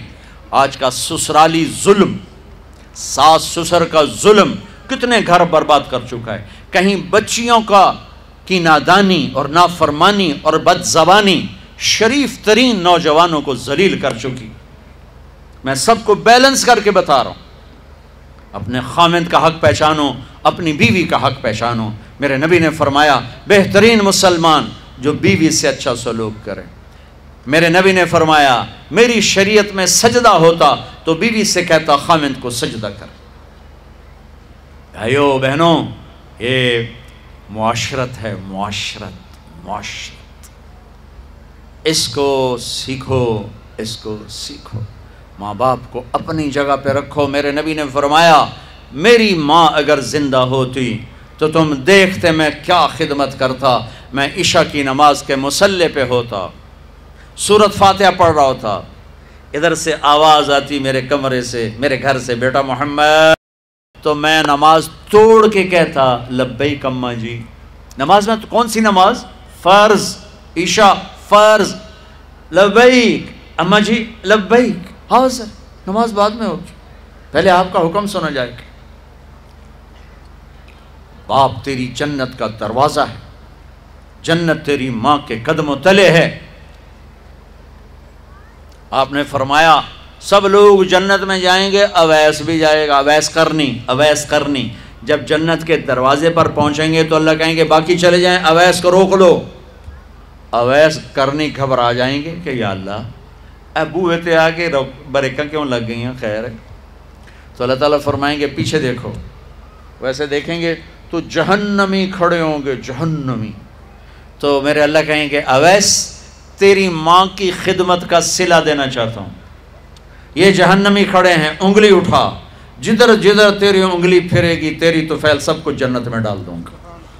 ماں کی خدمت، ماں کی خدمت۔ ان ماؤں سے کہتا ہوں، آنے والی بہو پر زیادتی نہ کرو، ظلم نہ کرو۔ اپنا حق اتنا نہ جتلاؤ کہ خامد اور بیوی کی زندگی برباد ہو جائے۔ ہاں،, ہاں ہاں ہاں اور سنو، آپ نے حضرت عمر سے کہا، عمر، تیرے زمانے میں ایک شخص آئے گا، اویس بن عامر، من مراد، من قرن۔ اویس بن عامر مراد قبیلہ اور قرن اس کی شاخ ہوگی، یمن سے آئے گا، رنگ کا کالا، قد کا درمیانہ۔ اسے پھل بیری برس کے بیماری ہوئی تھی، اب ٹھیک ہو گیا ہے، ایک سفید نشان باقی ہے۔ جب وہ آئے تو اس سے تم نے اور علی نے دعا کرا، تم نے اور علی نے، علی علی اور عمر، تم نے اس اویس سے دعا کرانی ہے۔ یا رسول اللہ، ہیں؟ وہ کیوں کہ اس لیے کہ اس نے ماں کو راضی کر کے وہ مقام پایا ہے۔ جب ہاتھ اٹھاتا ہے تو اللہ اس کے ہاتھ خالی نہیں لوٹاتا۔ علی اور عمر سے کہا جا رہا ہے۔ علی عمر کو ضرورت نہیں تھی اویس کی دعا کی۔ ہمیں پیغام دینا تھا کہ ماؤں کی خدمت کیسے چھوٹوں کو بڑا بنا دیتی ہے۔ کیسے چھوٹوں کو کیا مقام مل جاتا ہے۔ حضرت عمر رضی اللہ عنہ جب خلیفہ بنے ہر سال حج کرتے تھے، ہر سال۔ اویس، کوئی اویس، کوئی نہیں ملا۔ تو ایک سال انہوں نے سارے حاجی کٹھے کر لیے، سامنے کھڑے کر۔ ہاں بھائی، سب کھڑے ہو جاؤ، کھڑے ہو۔ اچھا بھائی، یمن والے کھڑے رہو، باقی بیٹھ جاؤ۔ تو ایک بہت بڑا مجمع کھڑا تھا۔ اچھا بھائی مراد والے کھڑے رہو، باقی بیٹھ جاؤ۔ تو چند لوگ رہ گئے۔ اچھا بھائی، کرن والے کھڑے رہو، باقی بیٹھ جاؤ۔ تو ایک آدمی باقی بچا، ایک۔ کہ تم کرنی مراد۔ جی میں اویس کرنی کے گاؤں گیا ہوں۔ اور ان کے قبیلے سے بھی لوگوں سے ملاقات کی ہے۔ جہاں وہ پیدا ہوئے، وہاں بھی گیا ہوں۔ ارے بھائی، اویس کو جانتے ہو؟ جی میرا بھتیجا ہے، بھائی کا بیٹا ہے۔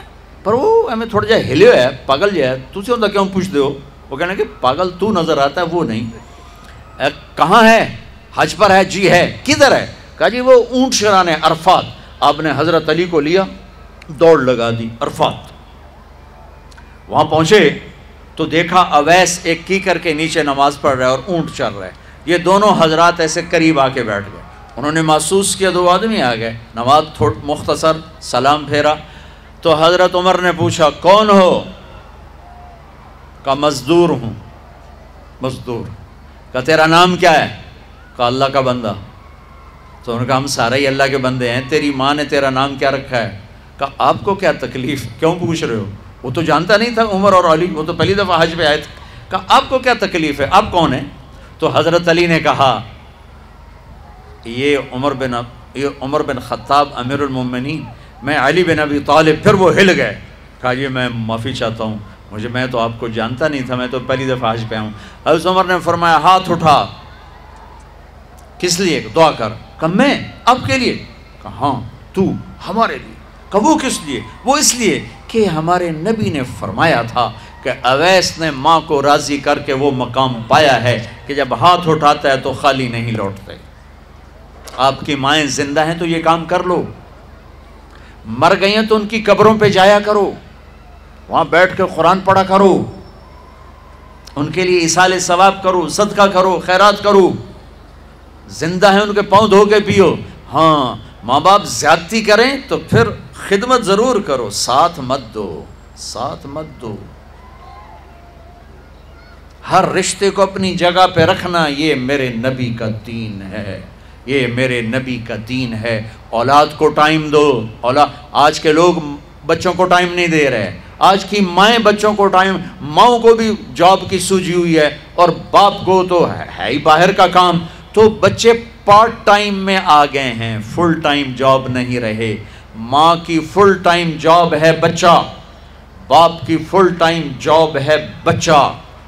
اپنی اولاد کو محبت دینا۔ سات سال تک میرے نبی فرماتے ہیں نماز بھی نہ کہو، سات سال کی عمر میں نماز کہو۔ سات سال تک بچہ سن کے نہیں سیکھتا، دیکھ کے سیکھتا ہے، دیکھ کے۔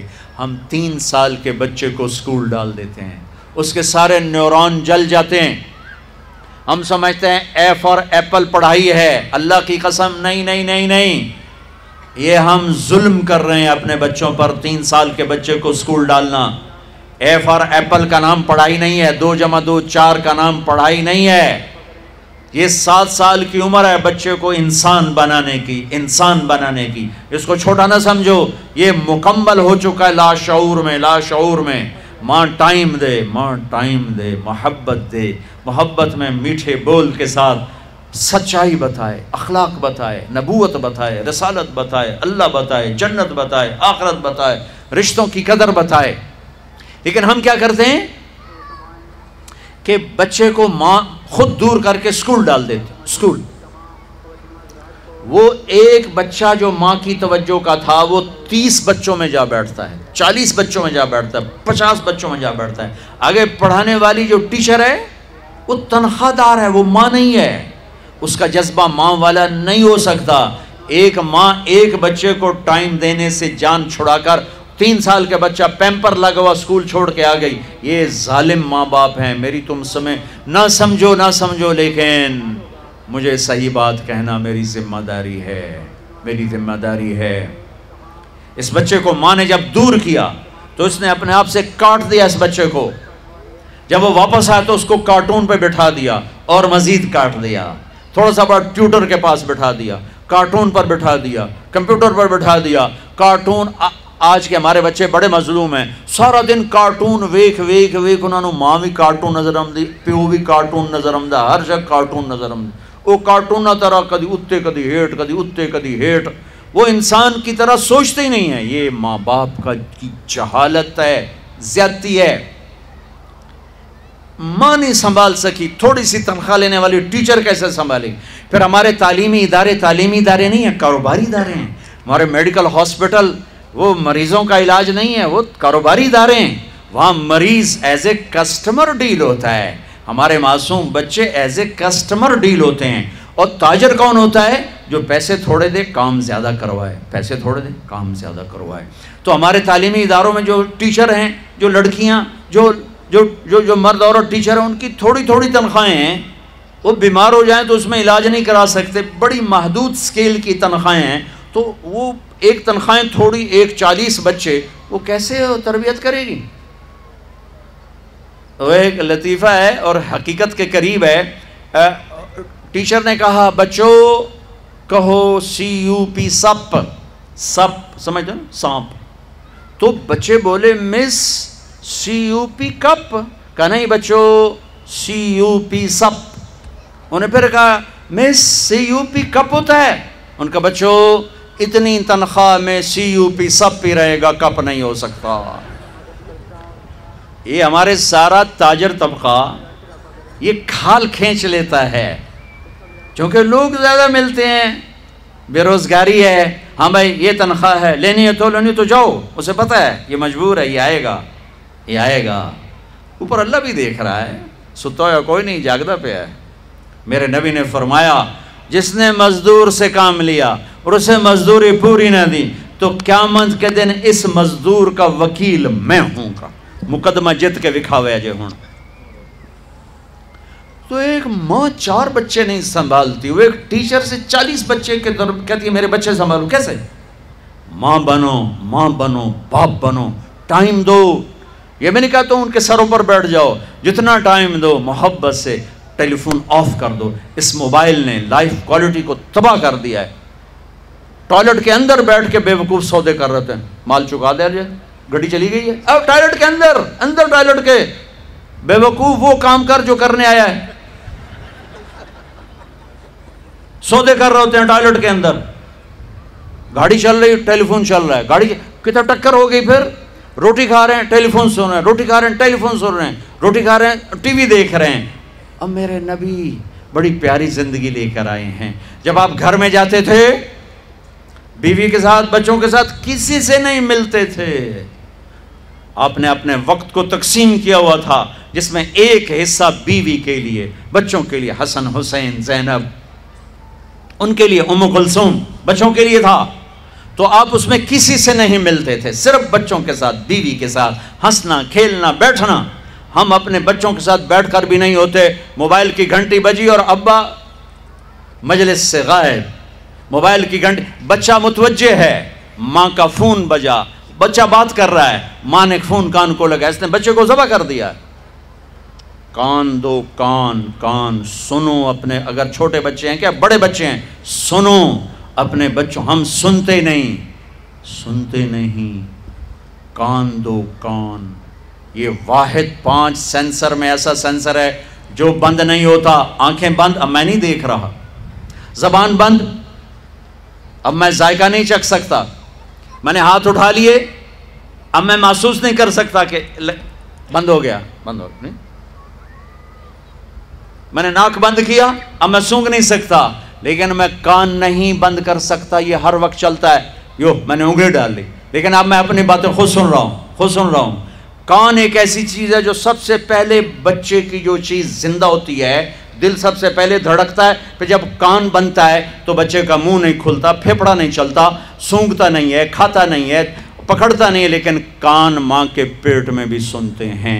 لہٰذا ہم جب بچے کے کان میں اذان دیتے ہیں تو آپ یہ نہ سمجھو کہ میرے نبی نے بات اہمی کہتی ہے بچے نو اذان، بچہ سن رہا ہے، کان ایکٹیو ہے ایکٹیو ہے۔ اذان پہلا پیغام ہے، صاف تختی پر لا الہ الا اللہ محمد رسول اللہ، لکھ دو۔ فل سنا ہے۔ اصحاب کہف کو اللہ نے سلا کر کہا، فَضَرَبْنَا عَلَىٰ آذَانِهِمْ۔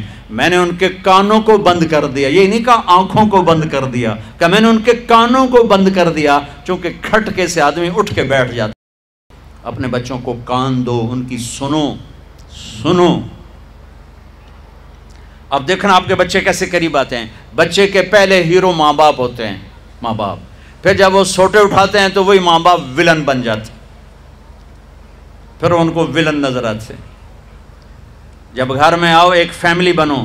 میں نے کئی دفعہ دیکھا ہے کہ بچہ، ہر بچہ موبائل سے کھیل رہا ہے۔ یہ یہاں یہ یہاں، یہ ماں ادھر، ابا ادھر۔ سب موبائل میں لگے ہوئے ہیں، سب۔ ایک بھی آپس میں گفتگو نہیں ہو رہی۔ اللہ کا واسطہ ہے، رشتے مت توڑو۔ لوہا بن جاؤ گے، مشین بن جاؤ گے۔ اس موبائل نے جغرافیہ سکیڑ دیا اور دلوں کو مشرق اور مغرب سے زیادہ دور کر دیا۔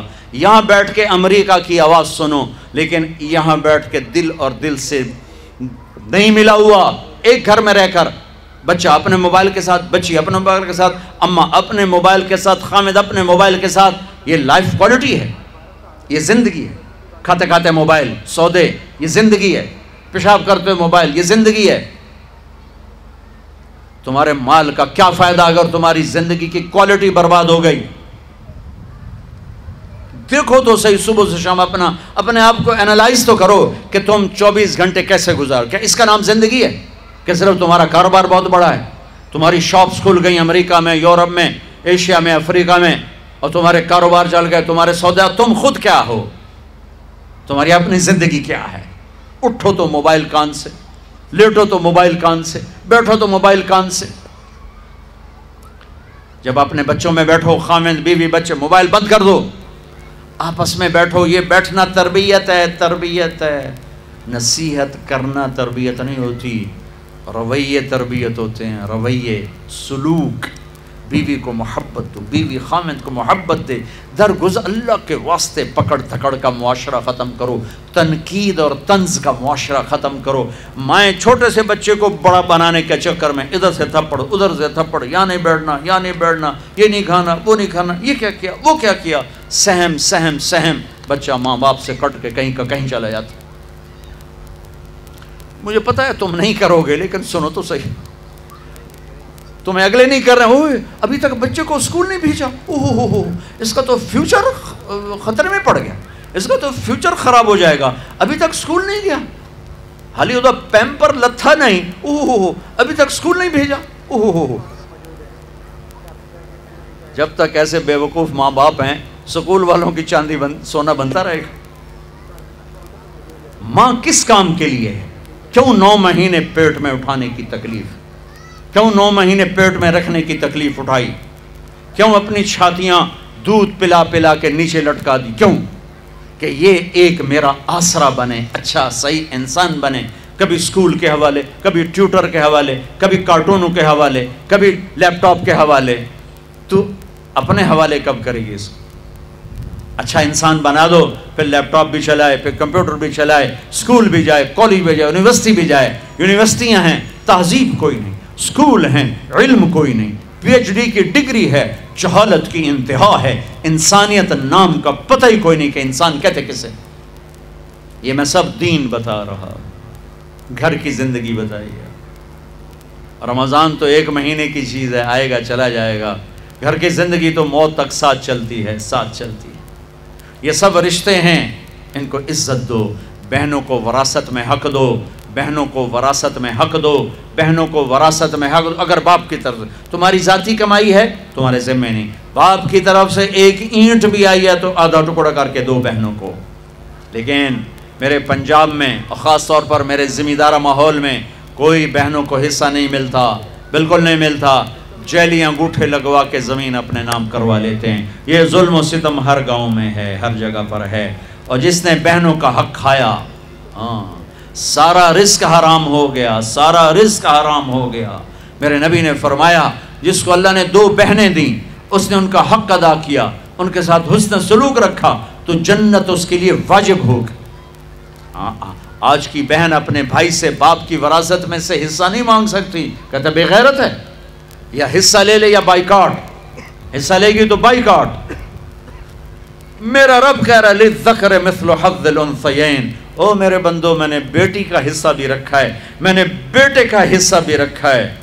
مجھے پتہ نہیں تمہارا ماحول کیا ہے، لیکن میرے ذمہ دارہ ماحول میں کوئی بیٹی بھائیوں سے، کوئی بہن بھائیوں سے زمین نہیں مانگ سکتی۔ اسے ذلیل کر کے تباہ کر دیں گے۔ ذلت کی آخری سیڑھی تک اسے چڑھائیں گے۔ زمینہ مانگتی ہے ساڑھے کو لو زمینہ مانگنی ہے ساڑھے کو لو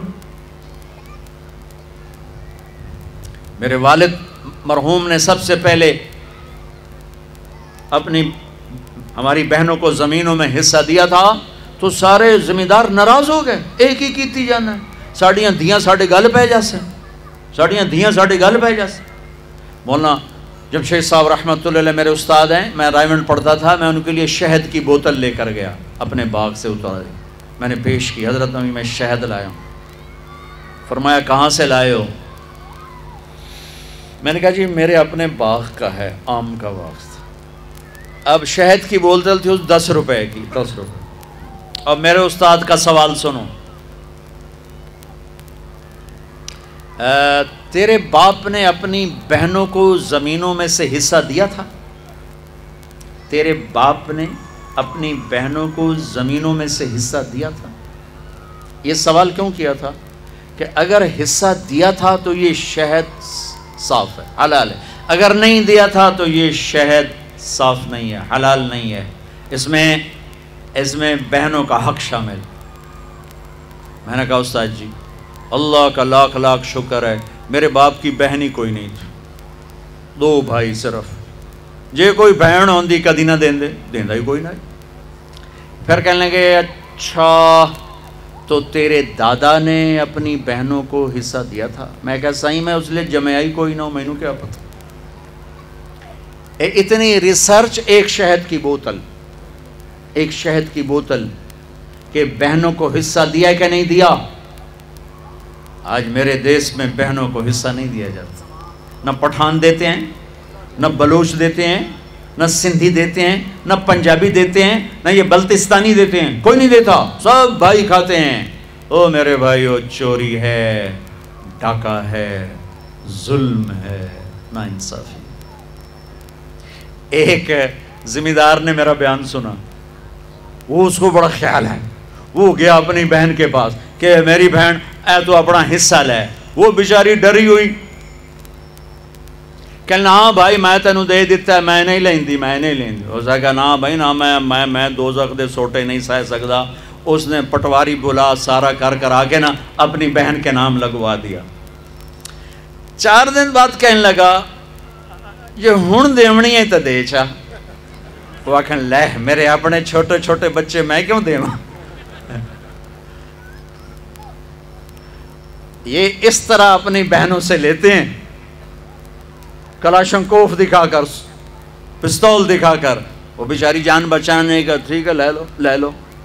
یہ بھی میرے معاشرے کا ایک ظلم عظیم ہے۔ بھائیو، وہ پیچھے تک لوگ بیٹھے ہیں، ادھر مستورات ہیں، عرض کرتا ہوں۔ اگر آپ صاحب ثروت ہیں، باپ کی وراثت میں کچھ ہے، اپنی بہنوں کو حساب کر کے دو، ورنہ سب حرام کھا رہے ہو۔ دودھ میں پیشاب کا ایک قطرہ سارے دودھ کو حرام کر دیتے ضرورت نہ پاکو میں گھر سے باہر نکلا، ہمارا نوکر دودھ اٹھا کے لایا اڈا گڑوا ہوں سے ماشاء اللہ تو میں نے آخر لگا، اے مولانا صاحب، چواکا کہتے ہیں قطرے کو، چواکا، ہماری زبان، چواکا۔ سمجھ گئے نا؟ چواکا کیا؟ قطرہ۔ کہنے لگا اڈا وڈا مولانا صاحب اے میں ایک چواکا پیشاب دا وچ ہے، کوئی گلتا نہیں ہے۔ میں کہ پتر مجھنو پیواؤن صاحب اپنے پیمن دا کوئی نہیں۔ اے میں ایک چواکا ڈٹ ہے کوئی حرج تا کوئی نہیں۔ وہ دودھ نکالتے رہے کوئی اس کا پیشاب وہ دم ہلاتی ہے نا، تو پیشاب کا کوئی قطرہ وہاں چلا گیا۔ تو ایسے بہنوں کو حصہ نہ دینا، یہ دودھ میں چواکا ہے، دودھ میں قطرہ ہے، حرام کا۔ اپنی بہنوں کو حصہ دو۔ اللہ تمہارے بھاگ جگائے گا، تمہاری نسلوں کو آباد کرے گا۔ یہ میں نے کو دو گھنٹے میں ساری زندگی لگا رہا ہوں تو دین کون بیان کر سکتا ہے؟ لیکن عبادات، معاشرت، توحید، رسالت، آپس کا تعلق، خاندانی تعلق، اپنوں سے، غیروں سے، کس طرح ہم نے زندگی گزارنی؟ میں نے کوشش کی، ہر پہلو پر تھوڑی تھوڑی تھوڑی تھوڑی تھوڑی بات ہو جائے، دل کو لگی ہو، لے لینا، نہ لگی ہو فقیرانہ آئے، صدا کر چلے، میاں خوش رہو، ہم دعا کر چلے۔ رمضان کا مہینہ ہے، آپ سے گزارش کروں گا، میرے لیے بھی دعا کرنا، میں آپ کی دعا کا محتاج ہوں۔ اٹھو نہیں اٹھو نہیں اٹھو نہیں بیٹھے رہو بیٹھے رہو بیٹھے رہو اور اور اب چھٹیاں ہو رہی ہیں، بچوں کو چھٹیاں ہو رہی ہیں، کالجوں میں ہو رہی ہیں اسکولوں میں ہو رہی ہیں۔ جو نوجوان چلے کے لیے، چار مہینے کے لیے تیار ہوں، وہ ذرا کھڑے ہو کے دیدار کرا دیں، پھر دعا کر لیتے جو اللہ کے راستے میں انشاءاللہ نکلیں گے ماشاء اللہ ماشاء اللہ ماشاء اللہ ماشاء اللہ اللہ بہت قبول کرے، اللہ بہت قبول کرے۔ بیٹھو بھائی بیٹھو بھائی۔ آخری بات کہتا ہوں، یہاں اٹھنے کے بعد اگر کسی سے لڑے ہوئے ہو تو جاتے ہی صلح کر لینا۔ کسی سے ناراض ہو، جاتے ہی صلح کر لینا۔ خاص طور پر خامن بیوی ناراض ہوں اور وہ آپس میں صلح کر لیں تو اللہ ان کے پچھلے سارے گناہ معاف کر دیتا ہے، یہ خوشخبری ہے۔ اگر خامن بیوی ناراض پر صلح کر لیں تو ان کے پچھلے سارے گناہ اللہ تعالیٰ معاف فرما دیتا ہے۔ تو بھائی ایک دوسرے کو معاف کر دینا درو شریف پڑھو۔ اللہم لک الحمد کما انت اہلہ فصلی علی محمد کما انت اہلہ وفل بنا ما انت اہلہ، انک اہل التقوى و اہل المغفرہ۔ اللهم لك الحمد حمدا كثيرا طيبا مباركا فيه غير مقفي ولا مودع ولا مستغنى عنه. اللهم يا ربنا يا مالكنا يا غاية رغبتنا يا من رفع السماء بقدرته وتحى الأرض بمشيته وخلق الخلائق بإرادته واستوى على العرش كما يليق بجلاله. ربنا آتنا في الدنيا حسنة وفي الآخرة حسنة وقنا عذاب النار.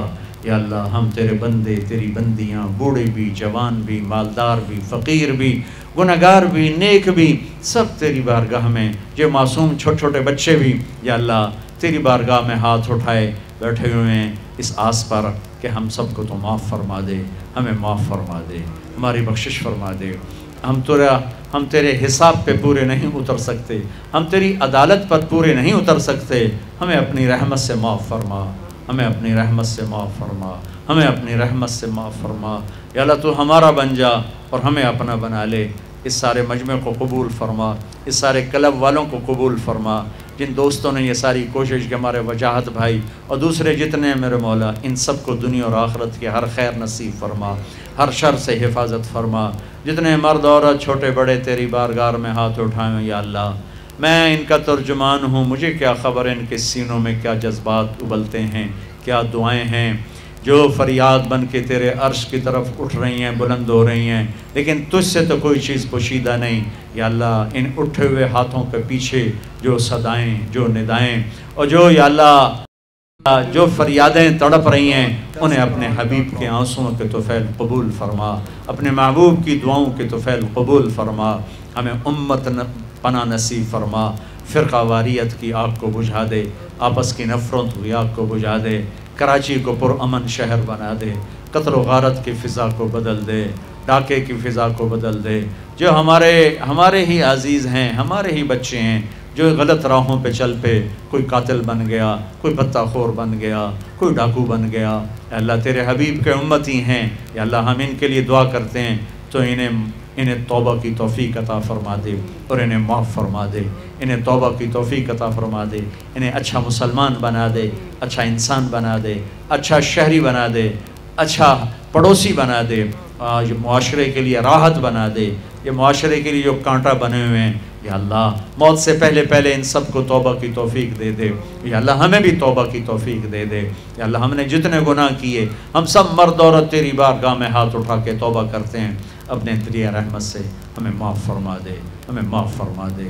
ہم سے اور ان سب سے راضی ہو جا۔ یا اللہ، آنے والا رمضان ہے، ہمیں ہمارے نصیب فرما، ہمارے نصیب فرما، ہمارے نصیب فرما۔ اس کی برکتیں عطا فرما، اس کی رحمتیں عطا فرما۔ اس کے روزے رکھنے کی طاقت دے، اس کی تراوی پڑھنے کی طاقت دے۔ یا اللہ قرآن کو اس میں، یا اللہ قرآن کی فضا قائم فرما آپس کی نفرتوں کو مٹا کر آپس کی محبتیں اس رمضان میں ہمیں نصیب فرما۔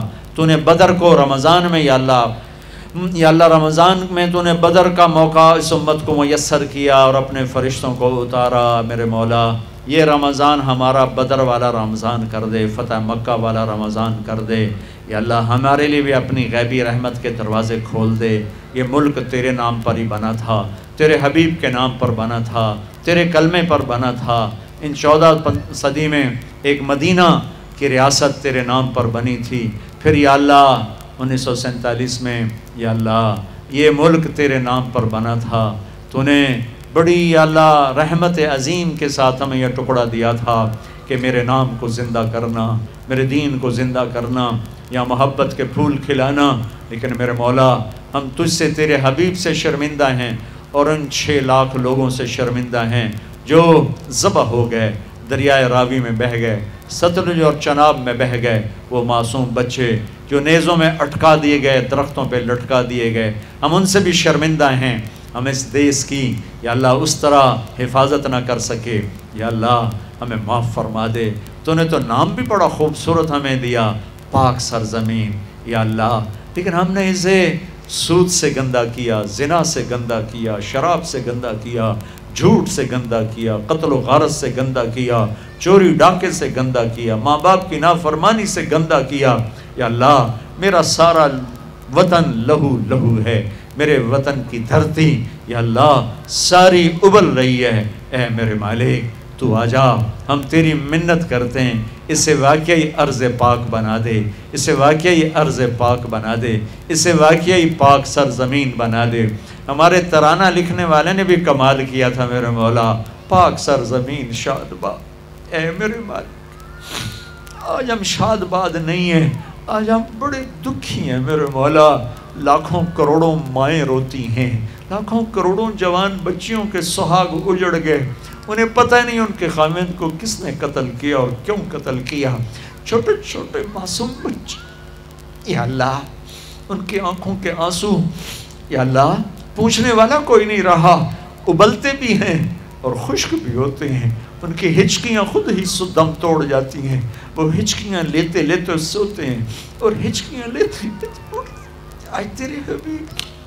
اے میرے من آ جانا یا اللہ، آ جا آج تیرے حبیب ہوتے کتنا روتے، کس طرح تیرے محبوب کی امت سب ہو رہی۔ یا اللہ، لوگ بیڑ بکری کو اتنا ذبح نہیں کرتے جیسے تیرے محبوب کی امت کی چھوٹے چھوٹے بچے ذبح غیروں نے ذبح کیا تو ان سے کیا گلا؟ ہمیں تو اپنوں نے ذبح کرنا شروع کیا ہوا ہے۔ خنجر بھی مسلمان کا ہے اور سینہ بھی مسلمان کا ہے۔ یا اللہ یا اللہ یہ گولی چلانے والا بھی ایمان والا ہے، جس کے سینے کے پار اور وہ بھی ایمان والا ہے۔ اللہ، تیرے نبی نے تو بڑے آنسو بہائے تھے۔ تجھے رو رو کے منایا تھا کہ میری امت کی حفاظت کر۔ اے میرے اے میرے، کدھر جائیں؟ تڑپ کے تیرے پاس آیا۔ ہے تجھے بلانے آئے ہیں، تو آجا جیسے معصوم بچہ گلی میں پٹتا ہوا، روتا ہوا ابا کے پاس آتا۔ ابا، مجھے گلی والوں نے مارا ہے۔ میرے ساتھ چلو۔ یہ سارا مجمع آج روتا پیٹتا تیرے در پر آیا ہے کہ آج پوری دنیا کا یا اللہ غیر بھی، اپنا بھی اسی امت کو ذبح کر رہا ہے۔ آجا، تو آجا میرے مالک، تیرے آنے سے کام بنے گا۔ یا اللہ یا اللہ، یا یہ فرقوں میں بٹ گئے۔ یہ فرقوں میں بٹ گئے۔ یہ امت پنا چھوڑ گئے ایک دوسرے کو سلام کرنا چھوڑ گئے ایک دوسرے کے پیچھے نمازیں پڑھنا چھوڑ گئے نفرت کی آگ میں شولے بن گئے، یا اللہ۔ اور یہ شولے آسمان سے باتیں کر رہے ہیں، یا اللہ۔ یا اللہ، آ جانا۔ اب کوئی نظر نہیں آتا جو امت کو اس گرداب سے نکالے۔ ہمارے حکمران بیچارے ہماری طرح بے بس ہیں۔ ہماری فوجیں ہماری طرح بے بس ہیں۔ ہماری پولیس ہماری طرح بے بس ہے۔ ہم بھی بے بس ہیں۔ تو ہے چارہ گھر چارہ ساز قادر، قدیر، جابر، جبار محیمن ملک قدوس، سلام مومن۔ اے سلام، اے مومن، اے محیمن اے عزیز، اے جبار، اے متکبر۔ تجھے تیرے خوبصورت ناموں کا واسطہ، تجھے تیرے حبیب کے آنسوں کا واسطہ۔ یا اللہ، تو آجا آجا میرے رب۔ اس اجڑی محفل کو آباد کر دے۔ اس اجڑی محفل اس ڈوبتی کشتی کو کنارے لگا دے۔ اس ڈوبتی کشتی کو کنارے لگا دے۔ یا اللہ یا اللہ، ہمارے پاس کچھ ہوتا تو تجھے پیش کرتے۔ غار میں تین آدمی پھنسے تھے، اوپر پتھر آ گیا تھا۔ انہوں نے تجھے اپنے عمل کا واسطہ دیا، تو انہیں پتھر ہٹا دیا۔ پر یہ سارا مجمع تجھے کیا پیش کرے؟ چولی خالی اوپر سے پھٹی ہوئی، کشکول خالی اوپر سے ٹوٹا ہوا۔ کھوٹے سکے لے کر آ گئے ہیں، یا اللہ۔ اس آس پر کہ تیرے دربار میں تو کھوٹا سکہ بھی چل جاتا ہے۔ اور تو کچھ ہے نہیں، تیرے نبی کا آنسوں کا واسطہ۔ اور تو کچھ ہے نہیں، ایک دفعہ تیرے نبی نے فرمایا تھا جنت البقی سے آتے ہوئے میرا جی چاہتا ہے میں اپنے بھائیوں کو دیکھوں تو صحابہ نے عرض کی تھی، یا رسول اللہ، ہم آپ کے بھائی نہیں، کہ نہیں، تم میرے صحابہ ہو، میرے بھائی وہ ہیں جو مجھے دیکھے بغیر میرا کلمہ پڑھیں گے۔ اے میرے رب، یہ سارا مجمع مرد و عورتوں کا وہی بیٹھا ہے جنہوں نے تیرے نبی کو نہیں دیکھا پر کلمہ ان کا پڑھا ہے۔ تجھے ایک مانا، تیرے حبیب کو تیرا رسول مانا، آخری مانا، قرآن کو تیری کتاب، جنت کو حق، ملائکہ حق، جہنم حق تورات زبور انجیل حق، سوا لاکھ نبی حق۔ اے میرے رب، صحابہ حق، سارے جنتی تو ان سے راضی، وہ تجھ سے راضی۔ اے میرے رب، ہمارا بن جا، ہمیں اپنا بنا لے، ہم سے راضی ہو جا۔ مولا جیسے بچہ روتے روتے تھک جاتا ہے، تو کہتا اماں میں تھک گیا ہوں، اب تو میری سن لے۔ اے میرے رب، ہم بھی تھک گئے ہماری سن لے یا اللہ ہماری سن لے یا اللہ، ہماری سن لے یا اللہ۔ آجا آجا آجا میرے رب، آجا۔ تیرے آنے سے کام بنے گا ہماری تدبیریں خاک میں مل چکی۔ ہماری آس ٹوٹتی چلی جا رہی ہے۔ ہماری آسی آس کی طرف کھچی چلی جا رہی ہے۔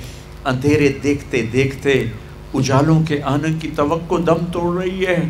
خزان دیکھتے دیکھتے پہاڑ بھولتی چلی جا رہی ہے۔ آجا، اے پہاڑوں کو لانے والے، ہر رات پہ سورج نکالتا ہے۔ امت کی رات پر بھی تو سورج لے آ۔ اس گمراہی کی رات کو ہدایت کے سورج سے تبدیل فرما دے۔ فرما دے فرما دے۔ یا اللہ، میرے دیس کی حفاظت فرما۔ جہاں جہاں امت پہ ظلم و ستم ہو رہا ہے، سب کی حفاظت فرما۔ سب کی حفاظت فرما۔ سب کی حفاظت فرما۔ ربنا آتنا فی الدنیا حسنہ وفی الاخرت حسنہ وقنا عذاب النار وصلی اللہ تعالی علی النبی الکریم آمین برحمتک یا رحمت الرحیم السلام علیکم ورحمۃ اللہ وبرکاتہ گوہر افشان دل برے www.darsulquran.com جانے جہاں یا رجائی یا رجائی یا رجائی یا رجائی